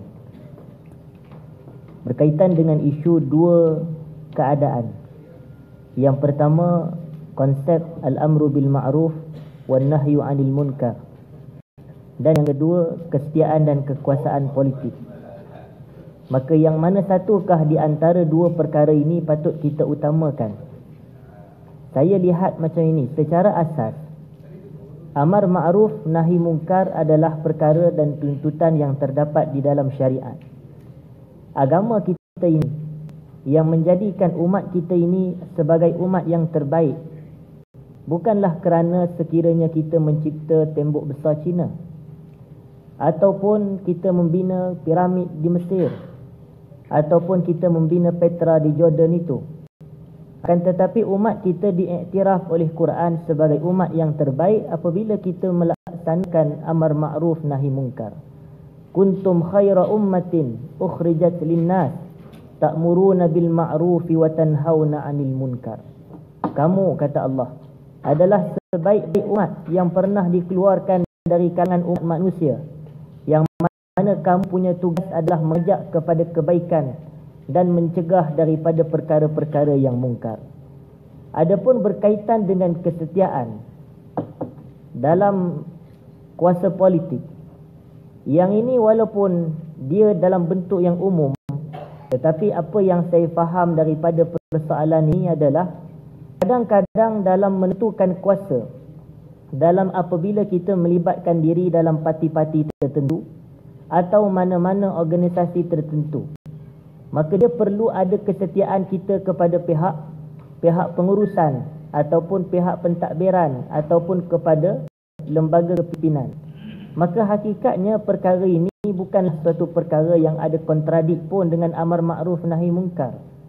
Kerana kalau kita setia kepada parti politik ini juga ataupun setia kepada mana-mana pimpinan dan pentadbiran yang kita berada di bawahnya maka hakikatnya hal ini tidak ada adalah bar satu masalah. Bagaimana para sahabat dahulu sentiasa menjadikan ketaatan mereka kepada Nabi. Sehingga kan Allah menyebut di dalam Al-Quran ala wa rabbika la yu'minuna hatta yuhakkimuka fima shajara bainahum thumma la yajidu fi anfusihim harajan mimma qadaita wa yusallimu taslima menunjukkan mereka sentiasa mengambil baik dan taat kepada apa sahaja yang Nabi perintahkan. Ini mungkin boleh kita kerana di atas wahyunya ucapan dan arahan Nabi sallallahu alaihi wasallam. Manakala selain pada Nabi apabila kita juga dituntut untuk melakukan ketaatan kepada pemerintah ataupun kepada pemimpin mana-mana organisasi setia ikat janji taat setia Maka ini sebenarnya adalah konsep al-wala wal-bara. Yang mana al-wala ini merujuk kepada al-mahabbatu wan-nusrah. Kita cinta kasih sayang dan kita bantu berikan pertolongan. Manakala al-bara adalah kita berlepas diri tetapi dalam konsep wala taat setia perlulah diikat dengan kesetiaan kita dan persetujuan kita adalah pada perkara-perkara yang ma'ruf.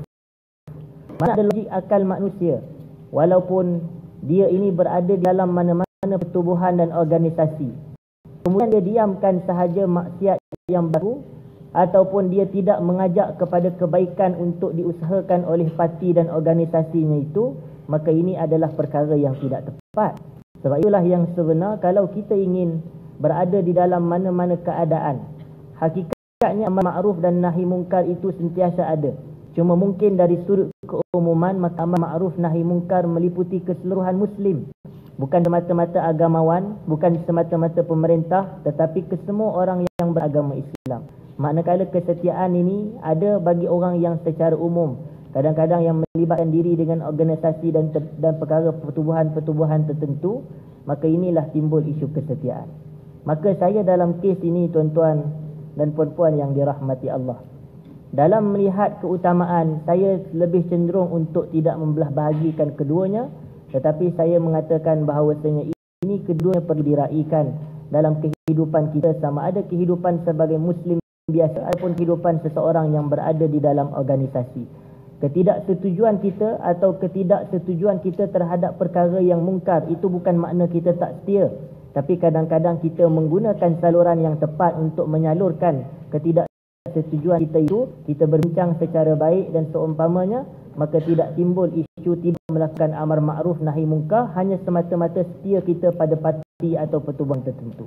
Raikan kedua-dua perkara ini muslim yang baik muslim yang berhikmah dia akan mengetahui yang manakah tempat yang sewajarnya untuk dia melakukan.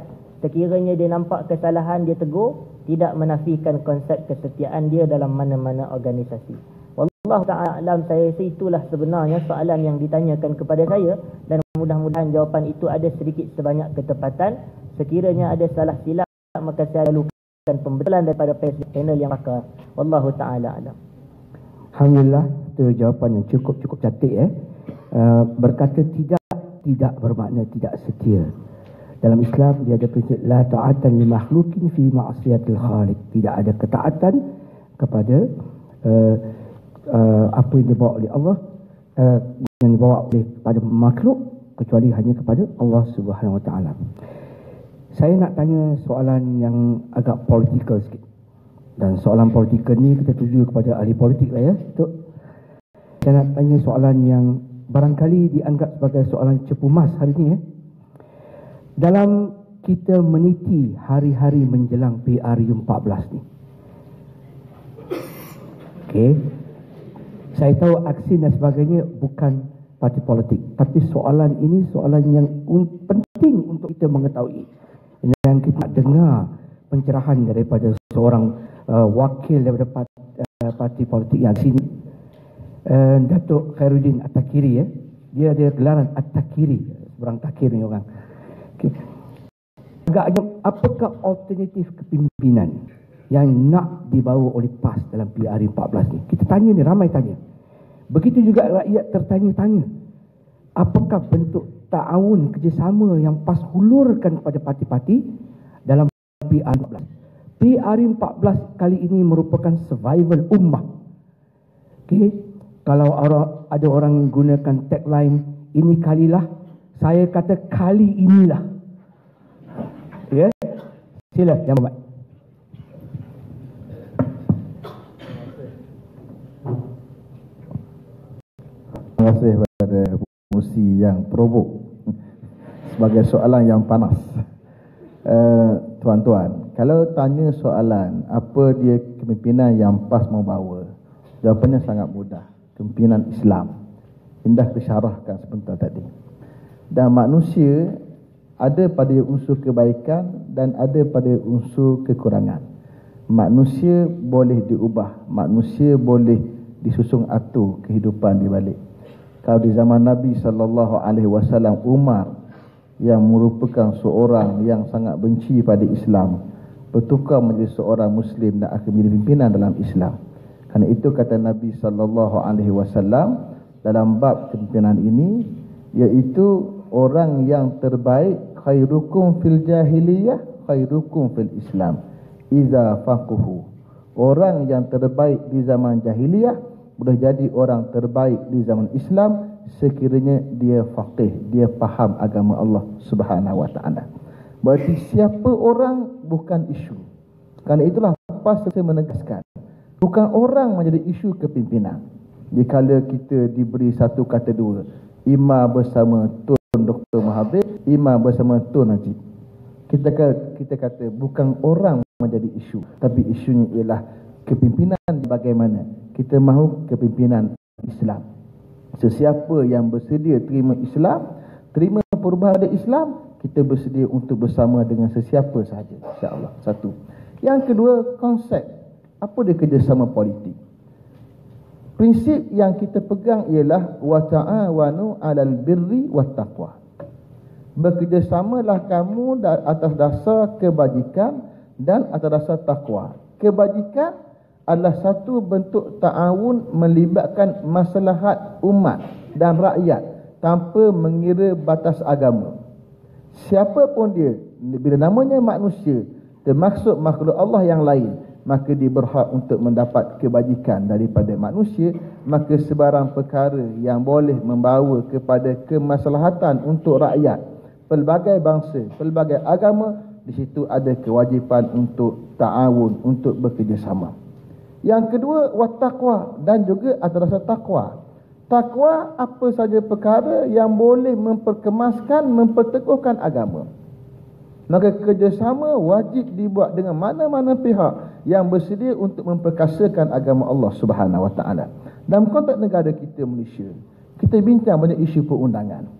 Pasca isu apa namanya umpamanya kes Indira Gandhi. Menunjukkan kepada kita ada lopang dari sudut kefahaman undang-undang dan juga peruntukan perlembagaan yang sedia ada.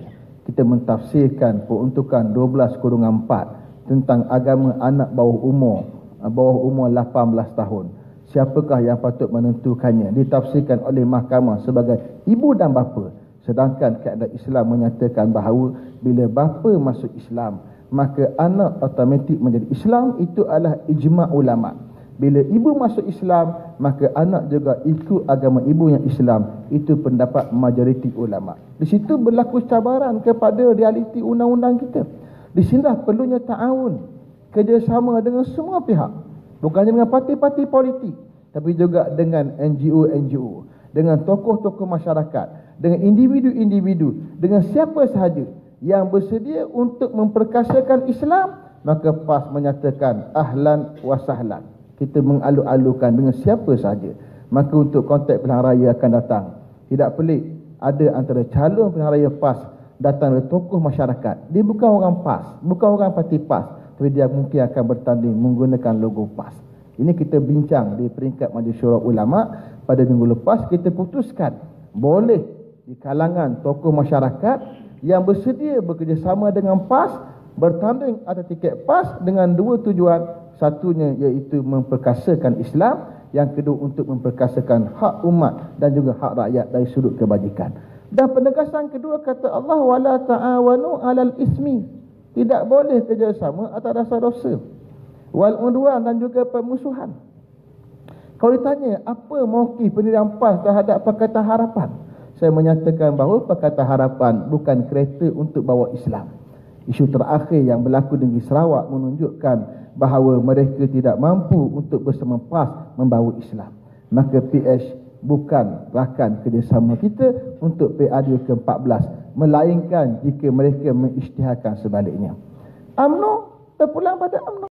Jika UMNO merasakan bersedia bersama dengan PAS dari sudut pendekatan yang kita katakan mesti memperkasakan Islam dan berikan hak pada rakyat, maka kita boleh bekerjasama. Bagaimana itu terpulang boleh kita bincang. Itu polisi dan juga cara PAS menetapkan kaedah. Tidak ada satu keputusan muktamad A atau B tapi kita letakkan dasar. Bekerjasama ada dasar kebajikan dan kita boleh bekerjasama atas perkara yang memberi, memberi kekuatan kepada Islam tapi tidak dalam perkara-perkara yang boleh mencerobohi hak masyarakat. Maka PAS akan menentang apa saja dasar yang bercanggah dengan Islam. Dan ini kita tunjukkan di parlimen. PAS tegas untuk menolak percukaian GST. Dan PAS memfatwakan GST bercanggah dengan Islam. Kita menolak Akta 164 yang dipindah baru ini. Dan banyak perkara lagi yang kita tegaskan untuk menggambarkan bahawa kita bila mana bekerjasama, kita ada prinsip. Menyokong mana yang baik, bersama pada apa yang baik dan tidak boleh bersama atas perkara yang boleh merosakkan umat dan juga merosakkan agama Allah Subhanahu Wa Taala. Itu sedikit jawapan daripada saya wallahu taala. Nah, terima kasih YB. Uh, dah mula hangat sikit dah. Okey. Um, saya nak tambah sikit lagi kehangatan, kehangatan ni dengan uh, mendengar pandangan dan pengalaman orang yang sangat senior dalam pentadbiran kerajaan iaitu mantan menteri luar kita ya Tan Sri dalam pengalaman Tan Sri dalam UMNO dalam kepimpinan kerajaan apakah contoh-contoh kecemerlangan atau best practices yang ada yang pernah wujud yang boleh dijadikan benchmark oleh dunia Islam hatta oleh negara kita sendiri dalam kita menerajui kepimpinan negara. Silakan Sri.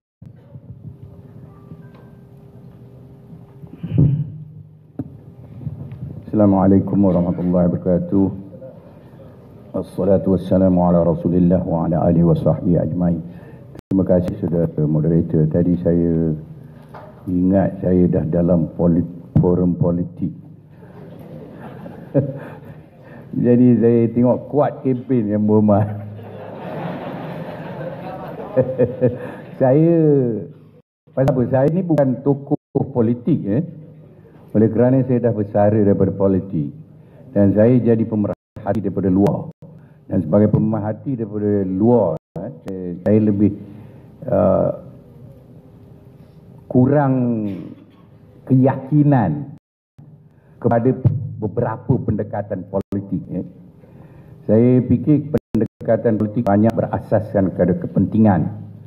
Jadi sebab itu misalnya jurang antara Islam dan Islam bukan mengecil tapi membesar. Ketidakpercayaan orang bukan Islam kepada orang Islam lebih besar dan mereka menganggap seolah Islam ni agama jumud sedangkan kita semua bercakap Islam adalah agama yang paling ideal yang diturunkan oleh Allah yang terakhir dengan rasulnya dengan Qurannya dengan syariahnya tapi keyakinan orang tu kurang why pasal apa kita ni eh? ini soalnya yang perlu kita betulkan misalnya tadi apa tu yang Muhammad uh, menceritakan bahawa kita akan menyokong yang terbaik uh, Bagus itu saya fikir dari segi konsep agama kita, kita kena suruh amal ma'ruf, nahi mungkar, segala perkara yang terbaik. Tetapi kalau yang terbaik bercampur aduk dengan yang tidak terbaik, ha, yang tidak baik ni, kita ada sama, macam mana dia punya hukum? Ha, kita punya, ini kita kena ni, because kita boleh saya bila ustaz baru ni ustaz kat masjid itu baru dia bercakap berkenaan ayat al-munafikun. Saya jadi lebih takut. Pasal apa? Kita manusia ni mudah untuk berbicara. Yang cemerlangnya apa? Yang cemerlangnya akhlak. Yang cemerlangnya kredibiliti kita. Kita punya apa itu kita punya projection, trajectory kita terhadap apa yang hendak kita lakukan. Misal pada saya lah kalau sebagai orang UMNO dulu kan. Dia sepatutnya uh, pas bukan tengok apa UMNO boleh. Dia kena tengok apa nak boleh saya mengamno. Because dalam Islam ada check and balance eh, yang kita mungkin kurang pada hari ini di kalangan umat Islam. Kita menjaga kepentingan kita kurang check and balance-nya kurang.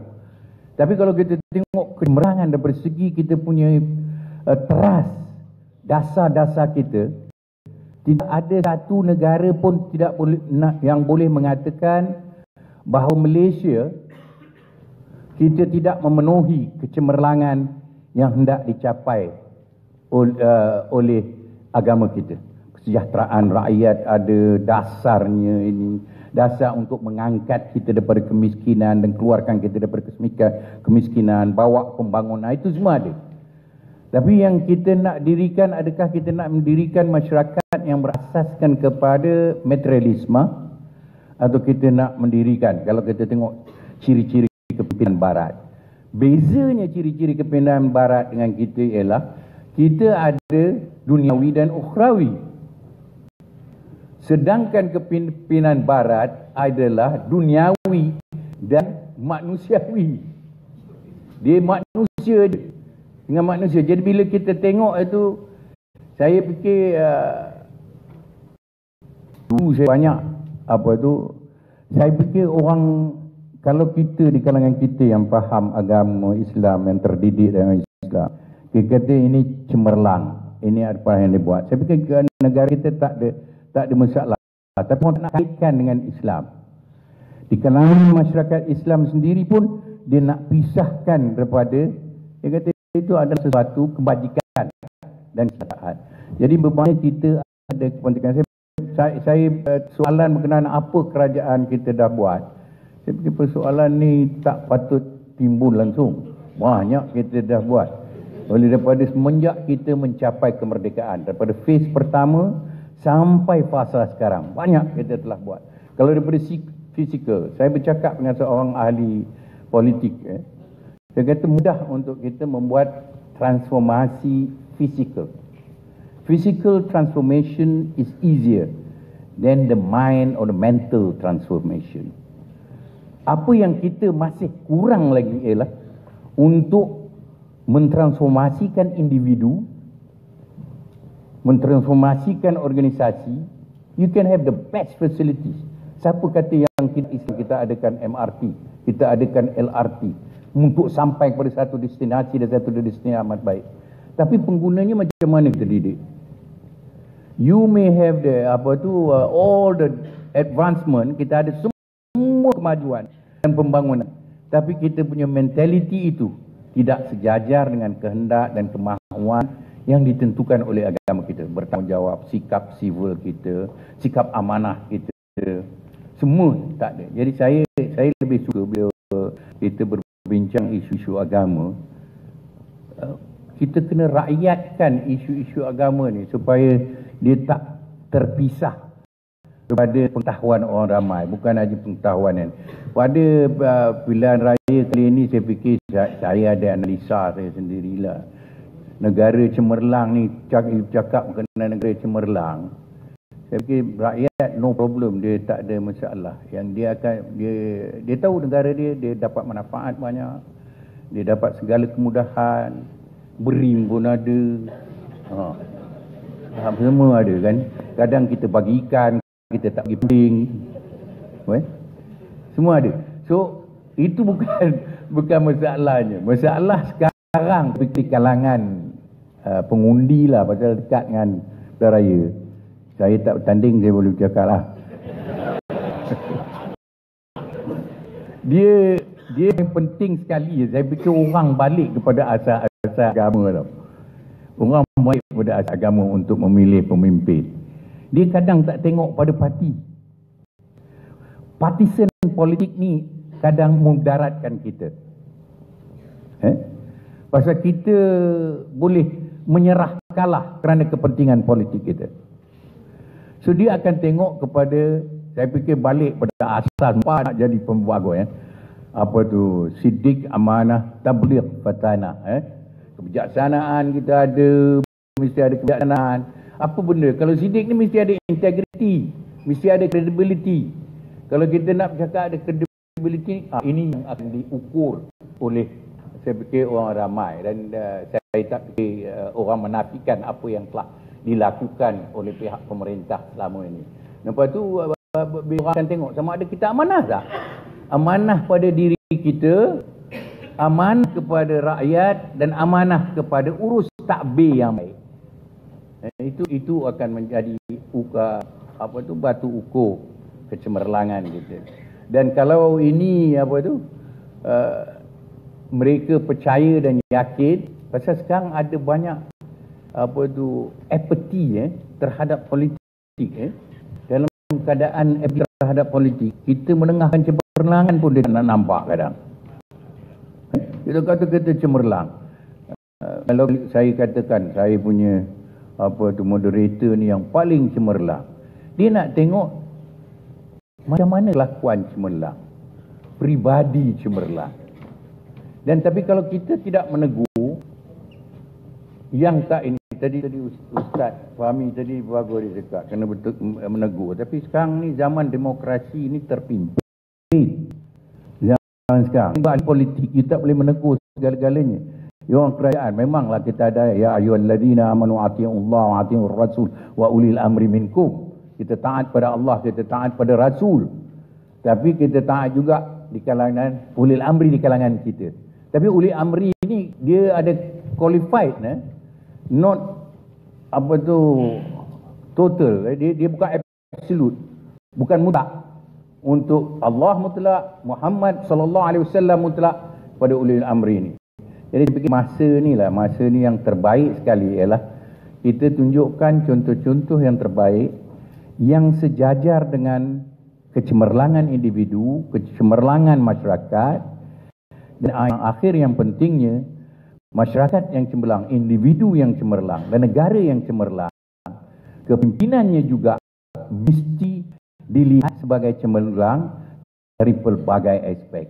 Dan aspek ini mengandungi balik pada kita kena ada akhlak yang mulia, kena ada amanah dalam kita melaksanakan tugas kita. Jadi saya saya percaya uh, NGO-NGO Islam ni uh, mesti juga Jangan bercakap bahawa musuh kita orang kafir, kita mesti menentukan kita kuat. Kita kuat supaya orang boleh mengikuti kehendak dan kemahuan kita. Oleh kerana pada masa ini, yang paling tertekan dan tertindas adalah umat Islam. Jadi terima kasih banyak. Saya harap uh, pandangan saya itu tak ada seberapa. Itu yang saya dapat memberikan pandangan. Thank, terima kasih. Terima kasih Kak Tri. Uh, pandangan yang sangat sangat baik ya. Untuk kita mengimbangi uh, apa yang dimaksudkan kecemerlangan dalam kepimpinan negara. Kini kita berada kepada soalan yang terakhir dalam pusingan kedua dan kita berikan kepada academician lah home ground kita ya Dr. Ahmad Faisal sebagai uh, menutup perbincangan kita ni dalam ruang uh, panel yang kedua ni pada pertimbangan doktor lah apakah kriteria yang patut dan perlu ada pada seseorang pemimpin politik khususnya yang pemimpin politik yang tanding dalam PR 14 ni yang sangat kritikal Uh, kita ambil pandangan akademik. Kalau kita kata panggil oleh politik, dia kata begini, begini, begini, ikut pas. Uh. Kalau kita ambil pandangan parti yang ni, begini, begini, ikut ini. Uh. Jadi kita ambil seorang pandangan akademik, home ground. Sila doktor. Terima kasih Ketua Pengurusi, Tan Sri, Datuk dan Ustaz, sahabat-sahabat semua. Uh, saya sebenarnya bila bercakap kita duduk di akhir zaman ni, sebenarnya Allah Ta'ala ada sebut enam kali ya tentang kita dan Allah kata kita jahat. Allah sebut begitu. Ya. Saya tak tahu lain jumpa ayat mana, saya jumpa ayat tu. Allah kata kita jahat. Allah sebut begini ya. Depan ni ustaz ramai. Fa khalafa min ba'dihim khalfun. Dia sebut begitu. Dalam bahasa Arab, khalfun tu maksudnya orang yang datang kemudian, dia jahat. Kalau dia baik, dipanggil khalafun. Sebab itu ulama khalaf. Sebab ulama tu baik. Orang datang kemudian ni jahat. Jadi bila Allah kata kita jahat, maka Allah mencirikan jahat tu. Dia sebut satu, dua, tiga, empat. Kalau saya sebut semua ada lapan belas. Nanti saya seorang ceramah je lah. Jadi oleh kerana itu, dia menggambarkan betapa masalahnya masyarakat kita sekarang seperti mana sebut oleh Abi Datuk, sebut oleh Tan Sri dan juga Ustaz tadi bahawa kita berada dalam satu situasi yang kita bingung kita keliru dulu kalau sebut Ustaz masuk politik senang ya pasti pas lah sekarang di AP pun ada Ustaz juga jadi nanti kita pun pening Yalah kawan saya tu Ustaz Wanji tu kan duduk orang ustaz tu orang kuat lingkungan ini. Jadi kita pun tak tak faham. Eh, tak faham. Jadi itu yang panggil keliru tu. Kalau dulu pakai songkok je amno. Tapi sekarang orang amno pakai kopiah, orang pas pakai songkok pula. Jadi kita pun macam mana ya? Tak faham. Jadi pilihan raya yang ke-14 ni ialah bingung lagi. Sebab tu tuan-tuan panggil orang macam-macam. Ulah ni. Yang mengulah pun bingung juga. Ya, dia nak kata macam mana. Ya, tak tahu lah. Tapi cuma saya percayalah. Wa man yattaqillah yaj'allahu makhraja. Ada jalan keluar. Maka sebab itu kita buat wacana, kita bincang dengan ikhlas. Mesti ada jalan keluar dan kita sayang pada Islam sayang pada ummah ini. Dan seperti mana Tan Sri pun sebut kita bila kuat orang lain boleh menumpang kita. Seperti mana YB Datuk pun sebut kita rela bekerjasama demi kebaikan dan takwa. Maka soalan yang diberi pada saya seolah-olah kriteria apa yang yang harus diambil kira jika orang tu nak bertanding? Itulah dan saya rasa semua kriteria yang saya akan sebut nanti satu pun tak ada kat saya jadi kalau saya bertanding jangan pangkau saya lah. gitu. Satu tu adalah kot, semuanya tak adalah. Yang, yang yang pertama dia seorang yang beriman. Dia dia seorang beriman. Saya sebut beriman tu sebab saya percaya orang beriman tak jahat. Orang Islam mungkin jahat. Ya, orang Islam mungkin jahat.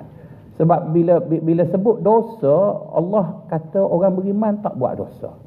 La yazni zani hina yazni wa huwa mu'min. Tak mungkin orang itu berzina ketika dia berzina dia masih beriman. La yasriku sarik hina yasrik wa huwa mu'min.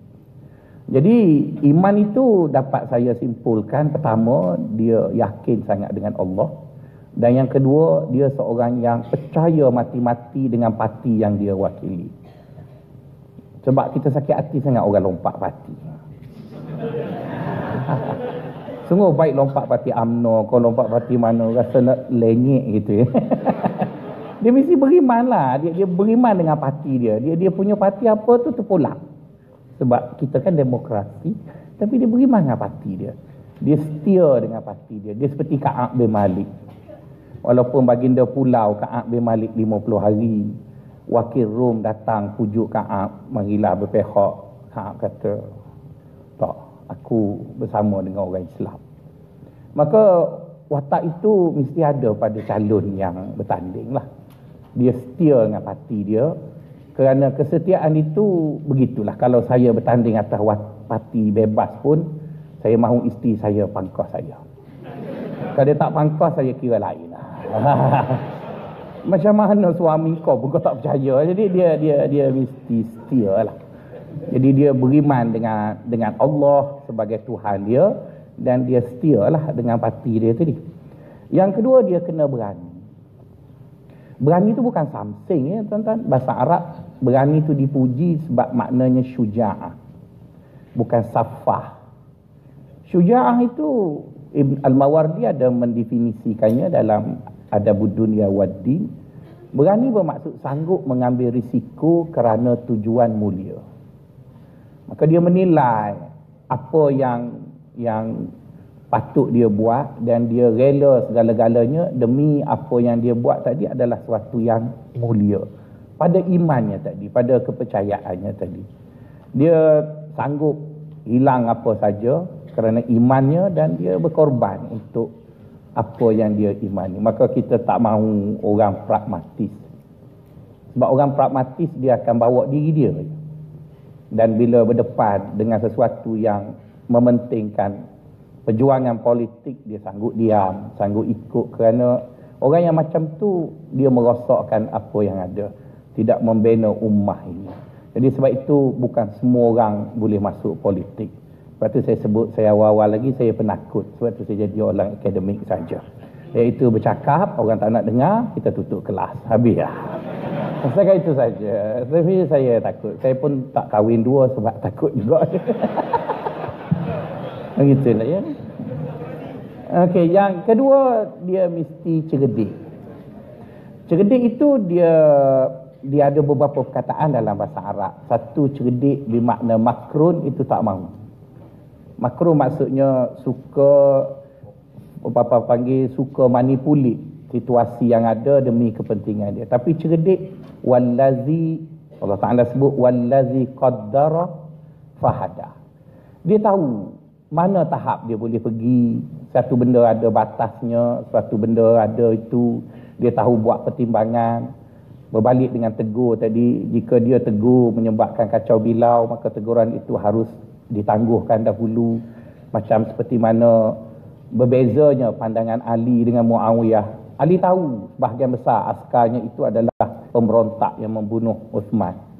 Tetapi negara masih dalam keadaan pucat kacik, maka stabilkan negara dulu. Tapi Muawiyah melihat perkara itu boleh memberi keuntungannya, maka dia mengenengahkan isu tersebut. Jadi bila sebut cerdik, cerdik bukan four flat ya.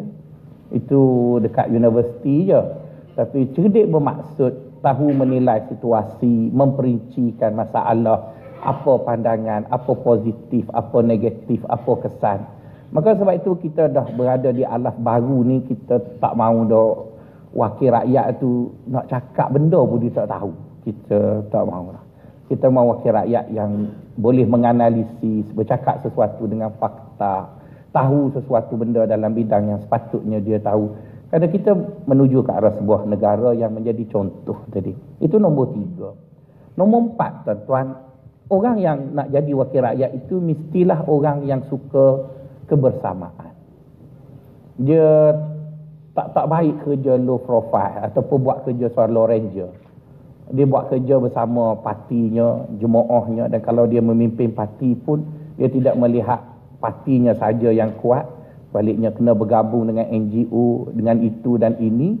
Dan kalau dia bercakap pun dia tidak sebut saya, dia sebut kami paling kurang. Dia merasakan bahawa dia suka bekerja dengan kebersamaan dan kebersamaan itulah yang menjadikan kita lebih harmoni. Tidak ada orang yang terkilan apabila kita mencapai sesuatu Dan kalau kita rebah, orang juga akan menghulur tangan untuk membantu kita. Itu yang keempat. Yang kelima, dia menghayati konsep sanggup susah. Kerana kita berada di sebuah negara maju, ada orang suka menangguk di air keruh. Sedangkan Allah berfirman, laqad khalaqnal insana fi kabad. Dalam ayat yang lain ya ayyuhal insan innaka kadihun ila rabbika kadhan famulaqi. Masih jauh lagi pekerja yang kita kena buat dan kita sanggup bekerja, kita sanggup buat sesuatu demi ummah, sanggup susah demi ummah. Maka sebab itu kalaulah ada seorang berkata begini, jika ingin kaya, jangan jadi ustaz ataupun pendidik. Jika ingin senang, jangan jadi ahli politik. Maka orang tu boleh dipakai. Tapi kalau dia kaya, kalau dia kata nak senang masuk politik, jangan undi dia untuk pilihan raya. Sebab kita mahu orang yang bekerja. Kita tak mahu orang yang cakap. Kerana retorik terlalu banyak. Datuk yang cakap apa panggil Datuk Profesor yang cakap dalam ucap tamu tadi pun Cukuplah dia kata retorik. Retorik dah tak mahu. Kita mahu orang buat. Tan Sri sendiri pun lihat banyak negara. Kita di negara Islam cakap banyak sangat. Tapi kita tak tahu nak buat. Ataupun kalau kita tahu, kita cuba untuk mengelak daripada buat. Maka sebab itu dalam mesyuarat-mesyuarat komuniti, mesyuarat JKK kampung, mesyuarat PIBG, orang yang tak pernah pergi program PIBG lah yang banyak komen. Sebab supaya dia tak payah buat, maka dia dilihat boleh bercakap dalam mesyuarat agung. Jadi kita dah kita mahu orang yang sanggup susah demi negara, sanggup berkorban demi negara, maka itulah orang yang kita pilih dan yang keenamnya dia adalah orang yang tidak bergantung hidupnya dengan sumber politik. Dia ada pendapatan, dia boleh hidup. Kalau tanya saya ya, kenapa para nabi itu dia tak ada jawatan kerajaan? Kerana Nabi itu sebelum dia jadi Nabi, dia dah boleh hidup dengan hasil kerjanya. Cuma tak adalah Nabi yang buat kosmetik ataupun tudung. Itu saja. Ya. Nabi dia buat kerja yang patut. Jaga kambing, buat panggil tukang besi. Dan tukang besi itu kalau kita terjemah sekarang, engineer lah. Buat enjin, buat apa yang berurusan dengan besi. Manakala pelihara kambing, bekerja dalam bidang pertanian. Memberi. Maksudnya, iktimadu ala zat. Dia dia tidak hidup dan dia tak ada hutang. Jangan ada jangan dipilih wakil rakyat yang banyak hutang. Nanti dia jual kerusi, tuan-tuan. Jadi ada baiknya sebelum pilihan raya isytihar hutangnya, beritahu hartanya, declare semua, maka bila kita lihat orang tadi mempunyai ciri-ciri tersebut, ini saya pun jumpa dalam Al-Wadi, jumpa dalam Ibnul Qayyim, uh, Qanunul Wazara yang telah Abdul Karim Bakar dan beberapa banyak yang diminta saya baca. Notanya banyak tu tuan-tuan. Baca semalam cukup menakutkan. Dan inilah kesimpulannya iaitu kalau nak pilih wakil rakyat pilihlah yang terbaik. Dan saya setuju macam Tan Seri kata tadi parti-parti harus menonjolkan calon yang terbaik untuk dipilih. Kerana kita banyak sangat calon yang terbaik. Jika parti tak pandai memilih calon maka kita pilih calon lain kerana kita tidak percaya dah pada parti. Kita percaya pada calon pula. Wallahu a'lam. Assalamualaikum. Terima kasih doktor. Kita dah habis dua round. Dalam um, kita punya program kita patut berakhir dalam 12 setengah tapi ada dua item lagi kita belum habis. Kita cuba uh, saya minta sikit lagi penangguhan. Uh, saya buka majlis kepada soalan. Sila sebutkan dari mana tuan-puan nama dan kepada siapa soalan ditujukan. Be precise please. Jangan ulas soalan terus tanya soalan. Dan selepas itu uh, panel akan uh, menjawab dan kita akan gulung dengan memberi masa satu minit setiap orang sebelum kita mengakhiri forum kita pada hari ini. Dipersilakan. I open the floor to everybody.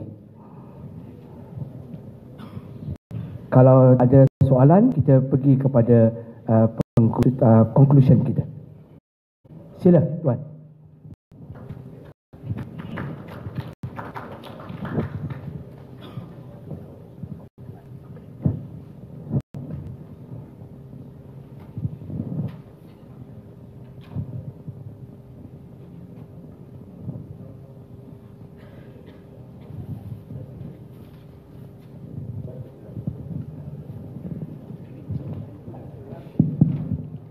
Assalamualaikum warahmatullahi taala wabarakatuh. Nama saya saya Major Besara Yunus dari Dewan Usahawan Industri Desa Malaysia.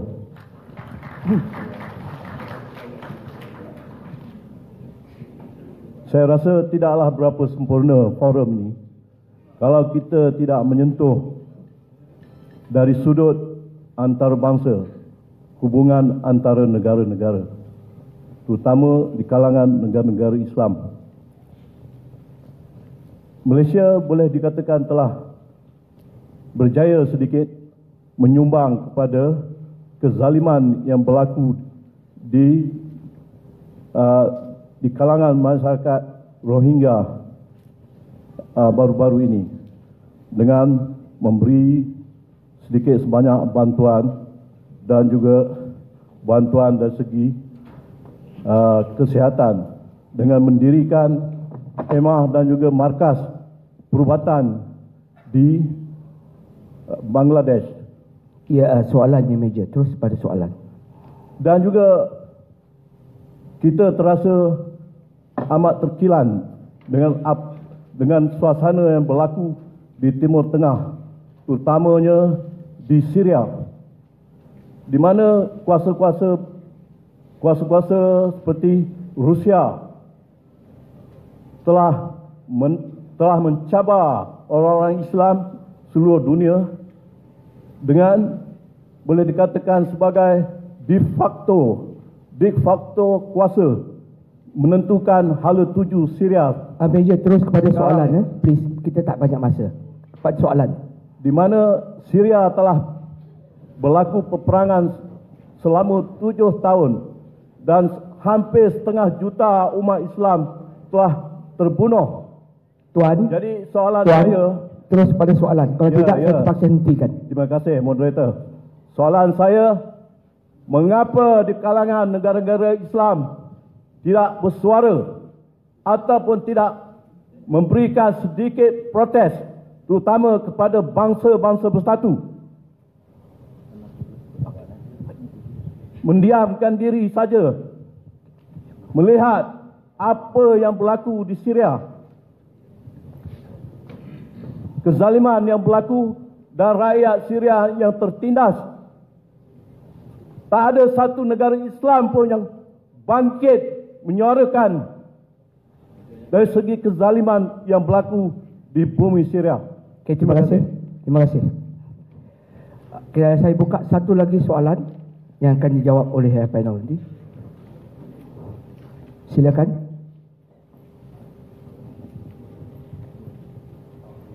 Uh, Bismillahirrahmanirrahim.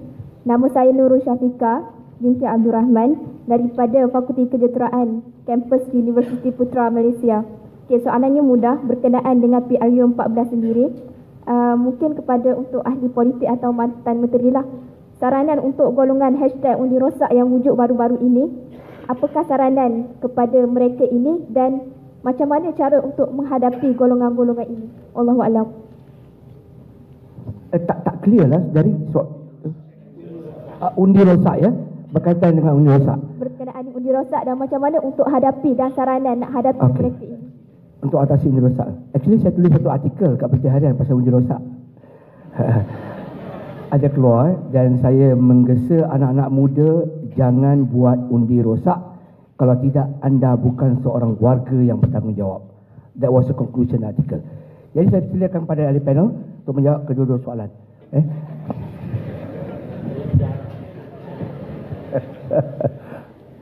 Saya fikir soalan pertama dulu saya jawab dulu kan. Saya fikir kita kena pertamanya terima kasih di atas soalan dan pandangan. Kita kena mengiktiraf bahawa tak ada negara Islam yang menjadi kuasa besar. Eh? Major power. Masa zaman Osmaniyah, sebab tu uh, pihak Barat tentukan bahawa kuasa zaman khalifah tu jatuh. Osmaniyah dia dilahirkan kebencian di antara orang Arab dan lepas tu dia pecahkan negara-negara. Itu Masa tu ada kuasa besar. Eh? Lepas tu kita dah tak ada kuasa besar. Yang Malaysia ni kita considered as middle power. Bukan kuasa besar kerana kita adalah sebuah negara walaupun kita kecil, kita dapat memainkan peranan untuk mempengaruhi. Kalau nak katakan di Syria, dia pasal saya fikirlah Timur Tengah akan terus bergolak.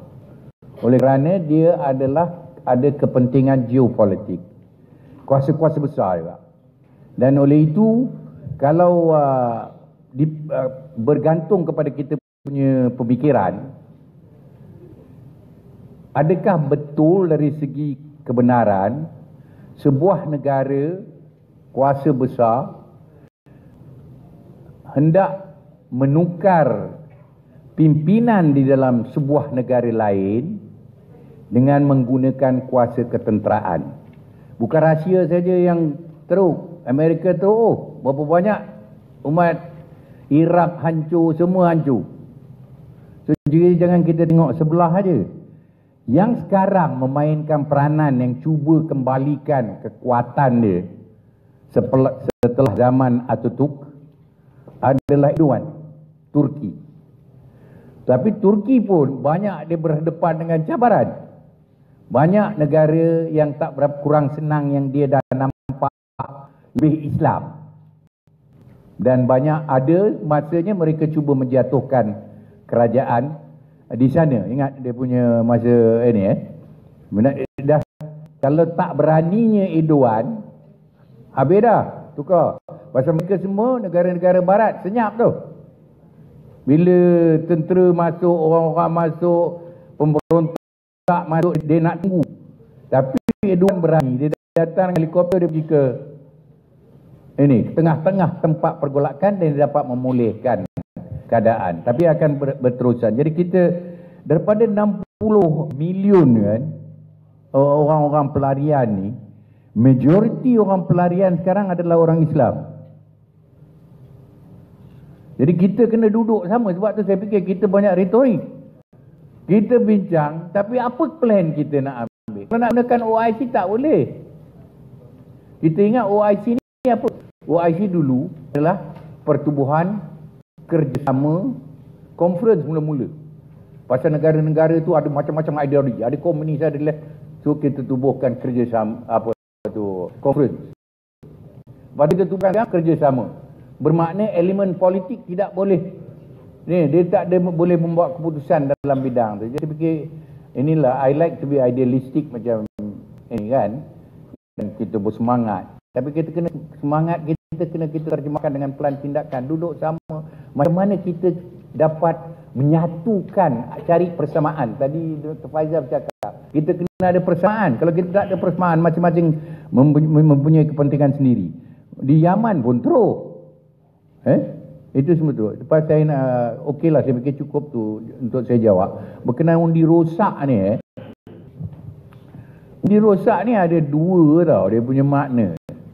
Satu undi rosak kerana orang tak tahu nak buat memangkah. Tapi dah dimudahkan sekarang eh. Tak senang untuk ditolak sebagai undi rosak. Asal ada tanda dekat dengan situ aja pun boleh. Asal tak kita tanda dua-dua dia mencari. Eh. So mudah dah. Tapi ada lagi satu, undi rosak ni adalah satu cara protes. Ha, ini berbahaya. Kalau kita ada apathy orang-orang tidak mau buat keputusan untuk mengundi. Saya fikir mengundi ni tanggungjawab dan wajib untuk kita memilih pemimpin. Kita tak boleh lari daripada memilih pemimpin. Hukum agama, hukum manusia. Kita kena pilih juga. Jadi uh, tidak lagi bergantung kepada pemerintah tentang undi rosak ni. Eh? Dia, mudah betul-betul senang. Tak ada ni. Eh, tak ada apa yang patut dia belajar untuk buat pembetulan atau tambah baikkan. Alhamdulillah, dia punya cara senang. Orang tak boleh pun boleh pakah yang siapa dia nak jadi dia punya wakil. Eh? Jadi itu saya fikir dua-dua saya cuba kalau Faizal ke nak tambah boleh apa kita punya yang Muhammad Datuk tadi dia terpaksa balik punya flight dia. Terima kasih Tasri. Saya ingat kita kita, kita conclude ya. Baik. Uh, kita rumus perbincangan wacana kita hari ini. Tuan-tuan dan puan Islam adalah agama persekutuan.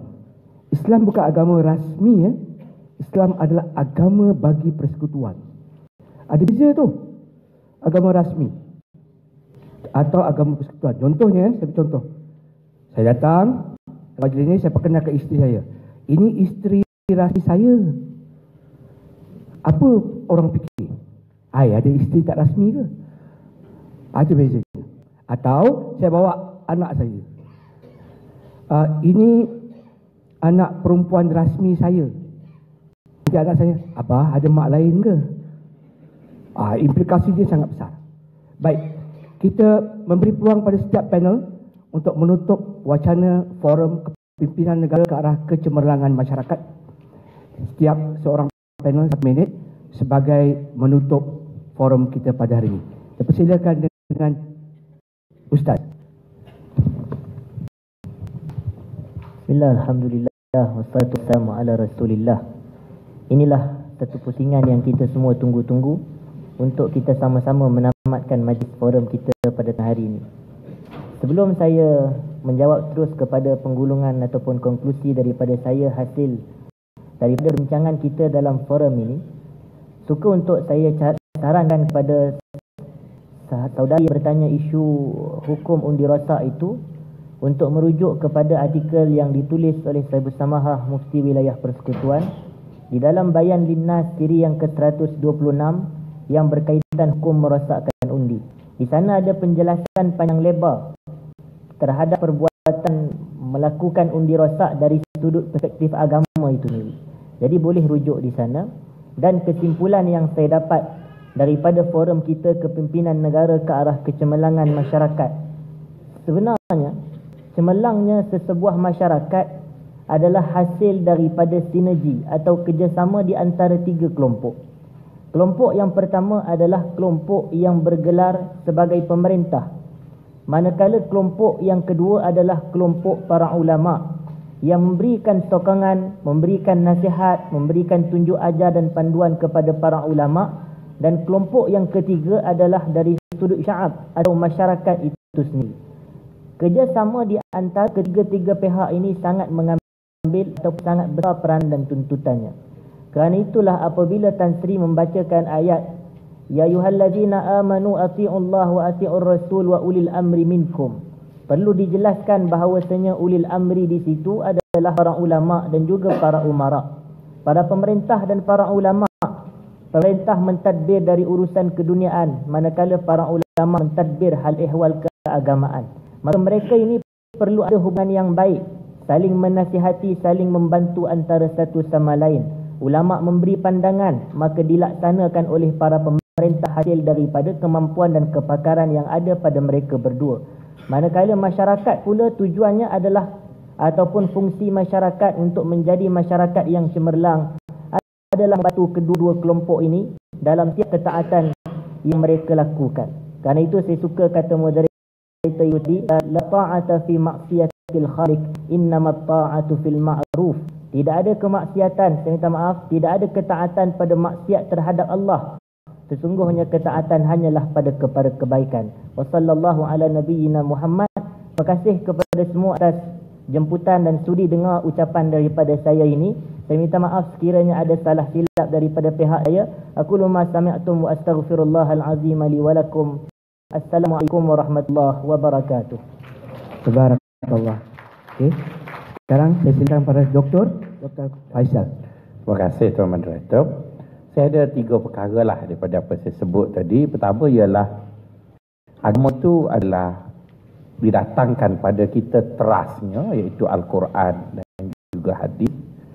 Maka kita diminta supaya membaca teras tersebut memahaminya dan cuba menterjemahkannya dalam kehidupan kita berpandukan apa yang telah dibuat oleh para salafus soleh. Tapi tidaklah meniru 100% apa yang mereka buat kerana mereka hidup di zaman lain, kita hidup di zaman lain. Mereka mungkin berbangsa, bukan bangsa kita, tetapi asalkan tidak canggah dengan konsepnya, terasnya, maka kita diizinkan untuk membina negara mengikut acuan kita. Perkara yang kedua, tuan-tuan, dalam hidup bermasyarakat ini, Allah nyatakan kita adalah makhluk yang lemah. Makna lemah itu ada tiga makna. Pertama, kita tak mampu mencapai kesempurnaan. Maka tak ada siapa yang boleh mendakwa partinya adalah paling baik. Partinya hanya baik sahaja. Oleh kerana itu, kita juga menerjemah makna lemah ialah kita perlu kepada orang lain untuk saling bekerjasama membina sebuah keutuhan ummah. Dan makna yang ketiga kita lemah, kita perlu kepada Allah Subhanahu Wa Taala yang kita panggil taufik. Allah setuju dengan apa yang kita buat. Allah suka dengan apa yang kita buat, maka kecemerlangan itu dapat dicapai. Dan yang ketiga, kata Imam Al-Mawardi dalam Adabud Dunia Wadi, dunia itu akan aman kerana terbentuknya beberapa komponen yang sesuai. Dan setiap komponen itu ada orang-orangnya. Jika setiap komponen yang membentuk sebuah masyarakat itu diwakili oleh orang-orang yang layak dengan komponen itu, maka dunia ini akan aman. Oleh kerana saya seorang pensyarah, maka jangan di saya sebagai ahli politik. Assalamualaikum warahmatullahi wabarakatuh dan panelis yang terakhir kita. Silakan Tan Sri. Terima kasih banyak kerana beri saya peluang untuk turut bersama-sama dalam majlis ilmu dan saya dapat banyak manfaat. Saya suka uh, apa tu dalam merumuskan untuk kita melahirkan masyarakat cemerlang. Kita punya diri sendiri kena cemerlang. Individu yang cemerlang akan melahirkan masyarakat yang cemerlang. Tak bermakna juga kalau masyarakat cemerlang bukan semua individu cemerlang. Ini adalah sesuatu yang amat penting sekali.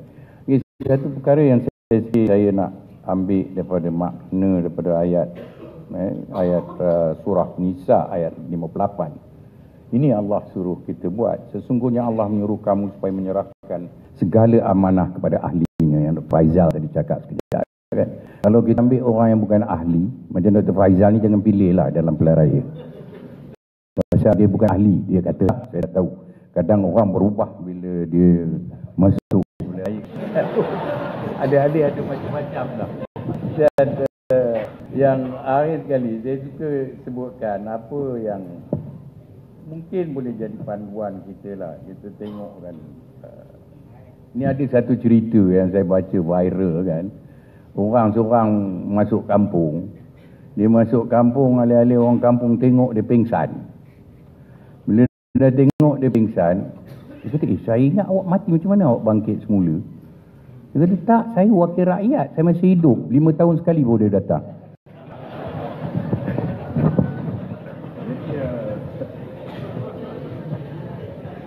Imam Ghazali kata, saya fikir ambil lah ini. Saya tak suka copy paste sebab saya fikir semua orang yang kita melalui apa tu universiti punya tu bila kita mesti kita buat PhD lagi test kita on plagiarism kan. On plagiarism. Lepas kita plagiarism tu. Tapi copy and paste mesti ada. Tapi soalnya kita mesti ada analytical mind. Apa yang boleh kita gunakan dan apa yang kita tak boleh gunakan. Kalau kita ambil dalam zaman berubah dan semua berubah, saya nak ambil uh, apa tu empat perkara yang Imam Ghazali ingatkan pada kita. Satu peradaban dan akhlak yang baik. Bila kita nak pilih kan. Pasal satu ni, ini penting juga. Kadang kita tak tengok. Accessibility. Mudah didekati jelata atau mudah didekati rakyat. Jadi dalam cemerlang tu mesti orang yang dekat. Dia, dia tak berasa dia nampak dia tak berasa dia ini kan. Dia sentiasa humility yang kita tidak bincangkan. Dan penting ada tawaduk. Jangan kita pentingkan jawatan kita, kita penting nama kita, kita penting tahu apa tu kita punya title tak sebut betul. Ha, ini dah disebut daripada lama-lama. Kita ambil contoh lama itu pasal itu. Lepas tu lagi satu perkara ini disebut oleh Khalifah Umar bin Kebolehan keboleh percayaan. Kita boleh percaya pada dia, bukan dia buat gambar lah. Eh, gambar lawa semua lepas tu kita bila buat dengan computer generated gambar very pretty, very handsome. Boleh percayaan dan tidak mementingkan diri sendiri. Kalau kita ada ada persaingan apa kita letak kat diri kita, keluarga kita, apa kita. Ha, ini tak jadi persoalan kronisme ni tak akan berbangkit. Itu negara cemerlang. Dan uh, akhir sekali, saya pergi melantik takbir dan pengurusan. Ini kita tengok kan, salah satu perkara yang penting dalam Islam adalah syura, bermesyuarat bila kita nak membuat sesuatu keputusan. Macam kalau zaman dulu dia bermesyuarat dalam urusan, sama ada masalah peperangan ataupun masalah keduniaan. Kita tengok ibu Rasulullah sallallahu alaihi wasallam masa perang Hudaybiyah. Masa perang Hudaybiyah, he was jailed. Oleh kan orang tak nak ikut dia punya perintah suruh dan balik buat korban kan. Dapat pasal dia dapat perjanjian. Tapi masuk eh, saya fikir Ummu Salma ini. Ummu Salama, Ummu Salama senang aja guys. Ya Rasulullah kau keluar balik kau buat sendiri. Bila dibuat sendiri orang semua ikut. Jadi pemimpin ni nak menjadi negara melahirkan negara cemerlang mesti jadi orang boleh patuh pada kita kerana orang sayang dan hormat kita. Bukan orang patuh pada kita kerana orang benci dan takut pada kita. Macam Fir'aun, Fir'aun ni orang benci. Tapi patuh. Tapi kalau kita tengok Rasulullah sallallahu alaihi wasallam orang patuh pasal orang sayang dan hormat dia selain daripada wahyu yang diterima daripada Allah Subhanahu taala untuk apa tu membawa risalah yang mulia bagi semua umat manusia. Jadi yang betul hanya Allah yang salah semua saya yang kurang saya mohon maaf kepada saudara dan tuan-tuan puan terima kasih di atas peluang yang diberikan untuk kita bersama-sama belajar di antara itu sama lain. insya-Allah Tuhan akan memberikan kita nur pencerahan bagi kita menjayakan umat kita. Terima kasih. Terima kasih terima kasih. Terima kasih pada aksi yang menganjurkan majlis ini saya uh, akhiri forum ini dengan uh, dua anekdot. Yang pertama saya teringat kata-kata Asyahid Dr. Abdul Qadir Audah 50 tahun dulu. Ummah akan hancur sekiranya satu, ulama'nya lesu. Dua, umatnya jahil. Kita ada dua-dua kategori yang perlu dijaga. Ulama' yang lesu tak boleh memberi nasihat yang baik dan umat yang jahil tak tahu ke mana nak perginya. Dan uh, semoga kita semua dapat mempertahankan Islam sebagai agama negara dan semoga kedaulatan Islam menjadi keutamaan kepada anda yang boleh memilih pilihlah calon yang mendaulatkan Islam. Sekian wabillahi taufik wal hidayah. Wassalamualaikum warahmatullahi wabarakatuh. Saya serahkan kepada pengurusi majlis.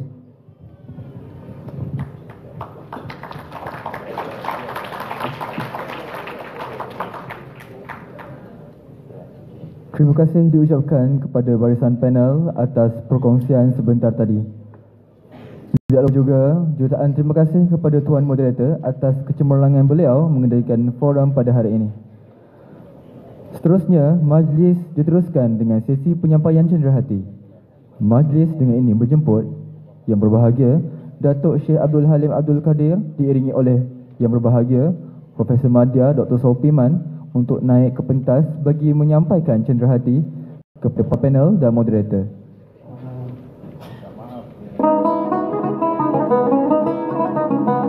Dan ini majlis mempersilakan panel yang pertama Yang berbahagia Tan Sri Datuk Sri Dr. Syed Hamid bin Syed Jaafar Albar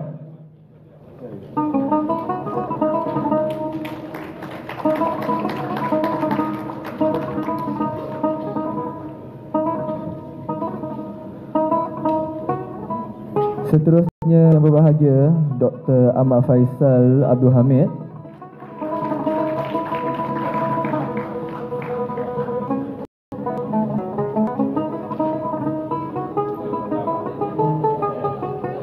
Seterusnya Al-Fadhil Ustaz Muhammad Fahmi bin Rosli.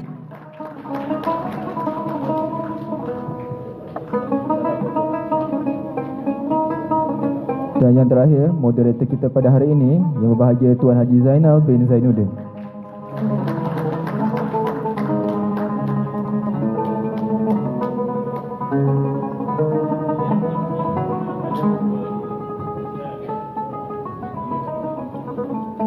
Majlis merakamkan jutaan terima kasih kepada yang berbahagia Datuk Syekh Abdul Halim Abdul Kadir atas kesediaan menyampaikan cenderahati sebentar tadi.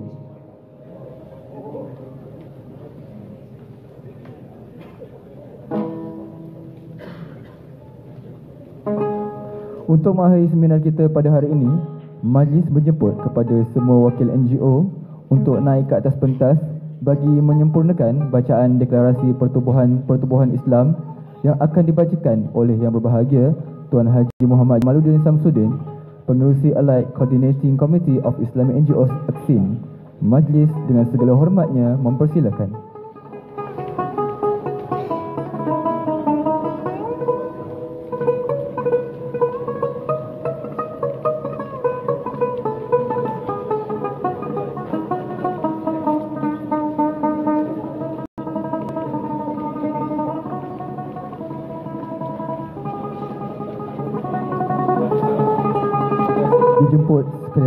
Kepada semua wakil-wakil NGO Pertubuhan Islam untuk naik ke atas pentas.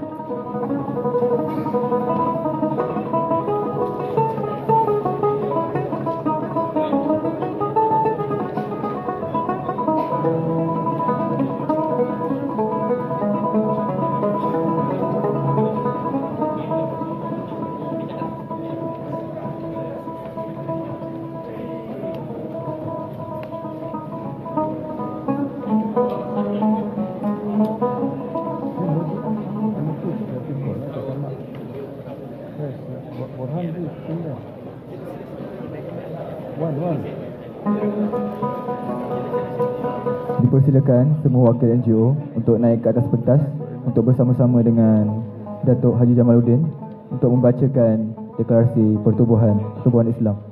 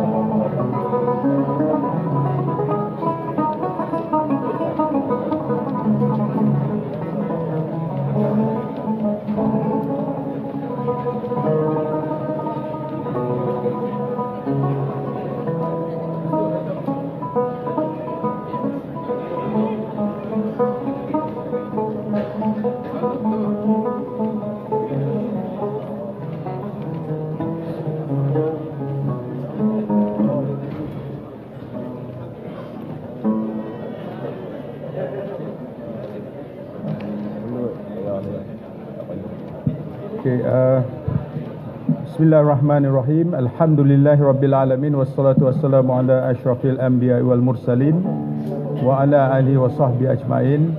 Assalamualaikum warahmatullahi wabarakatuh. Uh, kita akan mengambil masa dalam uh, 10 hingga 15 minit untuk uh, menyatakan deklarasi NGO Islam. Uh, kami di Exin bersama-sama dengan Uh, rakan-rakan uh, penganjur PUM dengan kerjasama API UM berbesar hati dengan sokongan uh, dan kehadiran Tan Sri Tan Sri yang bahagia Datuk Syekh Abdul Halim Kadir yang di-Pertua Persatuan Ulama Malaysia Tan Sri Hamid Syed Hamid Alba mantan Menteri Luar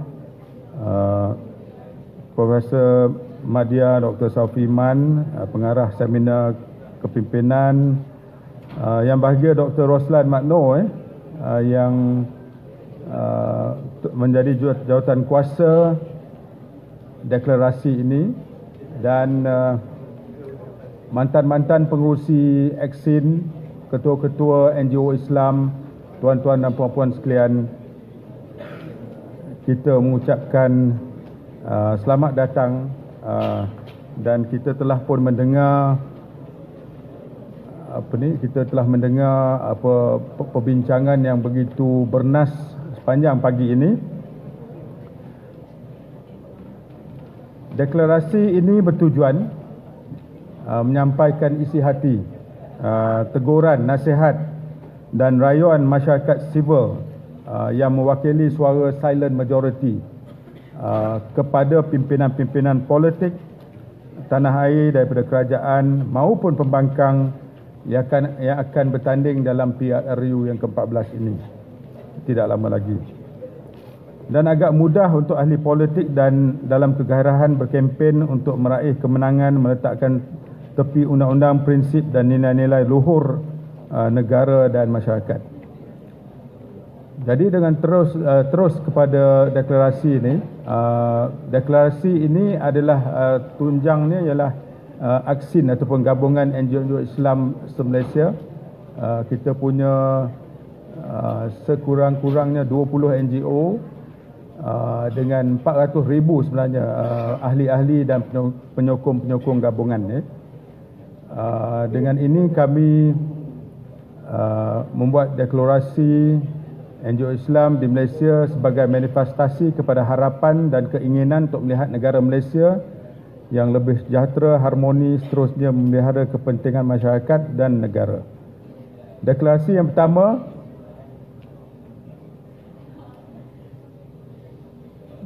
Yang pertama boleh nampak ya.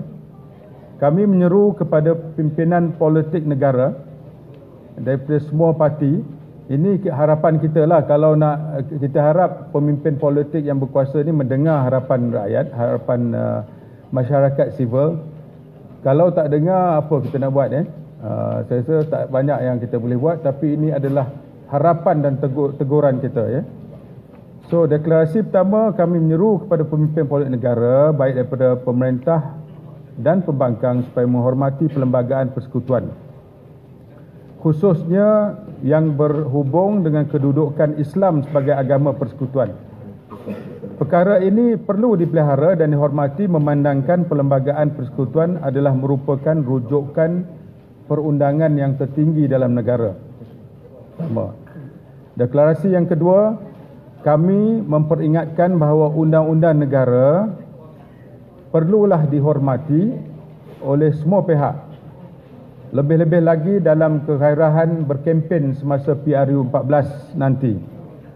Keluhuran perlembagaan dan undang-undang adalah syarat yang perlu kepada keamanan negara yang menjamin tata susila masyarakat dan kesejahteraan pemerintahan pasca PRU 14. Yang ketiga, kami menuntut agar para pemimpin politik terus memastikan supaya konsep pengasingan kuasa antara cabang-cabang eksekutif, legislatif dan kehakiman dipelihara dengan sebaiknya. Ketiga-tiga cabangan ini, eh, cabang ini merupakan komponen utama yang membentuk struktur demokrasi berperlembagaan negara yang perlu terus diperkasakan. Perkara ini adalah bagi mengelakkan berlakunya penempuan kuasa mutlak hanya terletak di tangan individu atau pihak-pihak tertentu yang boleh menjurus kepada salah guna kuasa. Faham? Eh? Yang keempatnya ialah kami menyeru agar semua pihak menjunjung sebuah demokrasi yang matang supaya rakyat yang merupakan para pengundi diberi maklumat dan fakta yang secukupnya daripada kesemua pihak yang bertanding dalam PRU 14 Club. Dengan ini rakyat boleh membuat penilaian sebaiknya untuk membuat pilihan yang terbaik. Serta para pemimpin dapat melaksanakan manifestasi uh, manifesto seperti yang dijanjikan. Maka kami NGO Islam juga menggesa SPR supaya memastikan pilihan raya dijalankan dengan telus dan adil bagi memastikan suara dan aspirasi rakyat Malaysia benar-benar dapat diterjemahkan melalui pilihan raya ini. Deklarasi yang kelima, kami mencadangkan supaya diadakan debat secara terbuka di antara parti-parti politik khususnya di peringkat nasional untuk memberi peluang kepada semua parti mengemukakan manifesto dan kelebihan masing-masing. Yang keenam, kami menyarankan supaya suara dan pendirian masyarakat madani termasuklah NGO dan pertubuhan-pertubuhan lain diambil kira secara serius oleh kerajaan dan pimpinan politik dengan hati yang terbuka. NGO Islam khususnya seperti disebut oleh uh, ahli-ahli panel kita daripada ucap pertama sekali pun berperanan uh, besar uh, dan perlu diperkukuhkan kedudukannya supaya dapat menyumbang secara lebih berkesan dan optimal kepada agama bangsa dan negara. Selaku kelompok kuasa ketiga ini pada hakikatnya adalah merupakan komponen terpenting dalam memastikan kelestarian demokrasi negara. Yang, ke, yang ketujuh, kami mohon supaya kerajaan yang dibentuk pasca PRU 14 memperkasakan para ulama, para ilmuwan yang disebut tadi oleh Tan Sri Syed Hamid dan cerdik pandai yang boleh berperanan memberikan nasihat yang berguna kepada pemerintah khususnya dan masyarakat awam umumnya. Kelompok ini perlu diberi ruang yang sewajarnya sebagai entiti semak imbang kepada kepimpinan negara. Yang kelapan, kami menyatakan bahawa kerajaan perlu memelihara keharmonian dan perpaduan rakyat Malaysia. Sebarang unsur atau usaha yang cenderung untuk mengubah dan menggugat keharmonian ini termasuk dengan mempelopori gejala murtad, penyebaran Kristian oleh kelompok evangelis luar negara ah, dan juga ekstremis agama Buddha, Hindu dan lain-lain perlulah ditangani semaksimumnya. Yang kesembilan, kami menggesa supaya kerajaan membanteras penularan fahaman-fahaman salah yang berselindung di sebalik topeng-topeng liberalisme dan pluralisme agama. Fahaman-fahaman ini boleh menggugat akidah dan keyakinan umat Islam terhadap agama mereka sendiri. Lebih parah fahaman-fahaman ini boleh menjerumuskan seorang kepada sikap skeptik kepada Islam yang akhirnya menjurus kepada gejala murtad tanpa sedar. Deklarasi yang akhir sekali kami menuntut supaya kerajaan terus menjadi pembela kepada masyarakat muslim minoriti yang tertindas di seluruh dunia seperti Palestin, Rohingya, Uyghur, Kashmir, Selatan Thai, Selatan Filipina dan lain-lain yang membawa pendekatan uh, melalui pendekatan manhaj Malaysia. Dasar terhadap Israel juga perlu diperketatkan. Tuan-tuan dan puan-puan yang saya hormati sekalian, saya tak boleh bercakap lama sangat sebab kawan-kawan saya berdiri di sini dan bukan duduk. Jadi akhir sekali Uh, deklarasi ini sebagai kesimpulannya tidak menafikan bahawa Malaysia memang merupakan sebuah negara yang kaya dengan budaya, hasil bumi dan budi pekerti. Pilihan raya umum merupakan medan bagi rakyat membuat pilihan terhadap kepimpinan negara yang akan mencorak dan memelihara keutuhan dan kemajuan negara ini. Menjelang PRU 14 nanti, adab dan tata sulia, eh, susila dalam berkempen perlulah dijaga. Penyediaan padang yang sama rata kepada semua pihak yang bertanding serta lunas-lunas demokrasi negara terus perlu dipelihara. Mereka yang menangi PRU 14 kelak pula perlulah memastikan kelestarian, keamanan dan keharmonian negara yang tercinta ini terus dikekalkan. Sekian harapan kami kepada pemimpin-pemimpin negara. Sekian wassalamualaikum warahmatullahi wabarakatuh.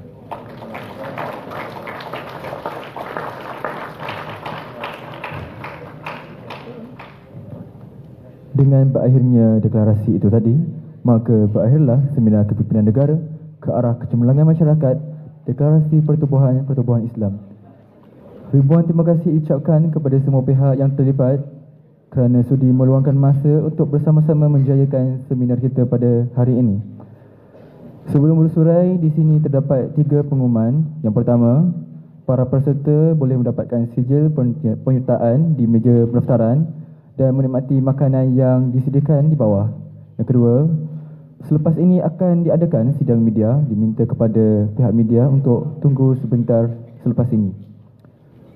Pengumuman yang terakhir kepada semua ahli gabungan ASIN Selepas ini akan diadakan mesyuarat agung tahunan ke-10 di bilik mesyuarat utama Aras 3 Blok D Akademi Perganjian Islam pada pada jam 2.15 petang.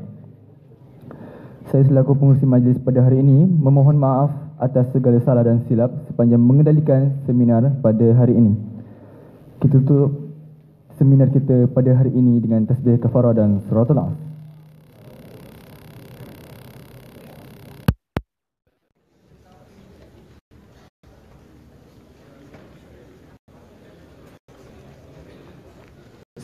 Warahmatullahi taala wabarakatuh.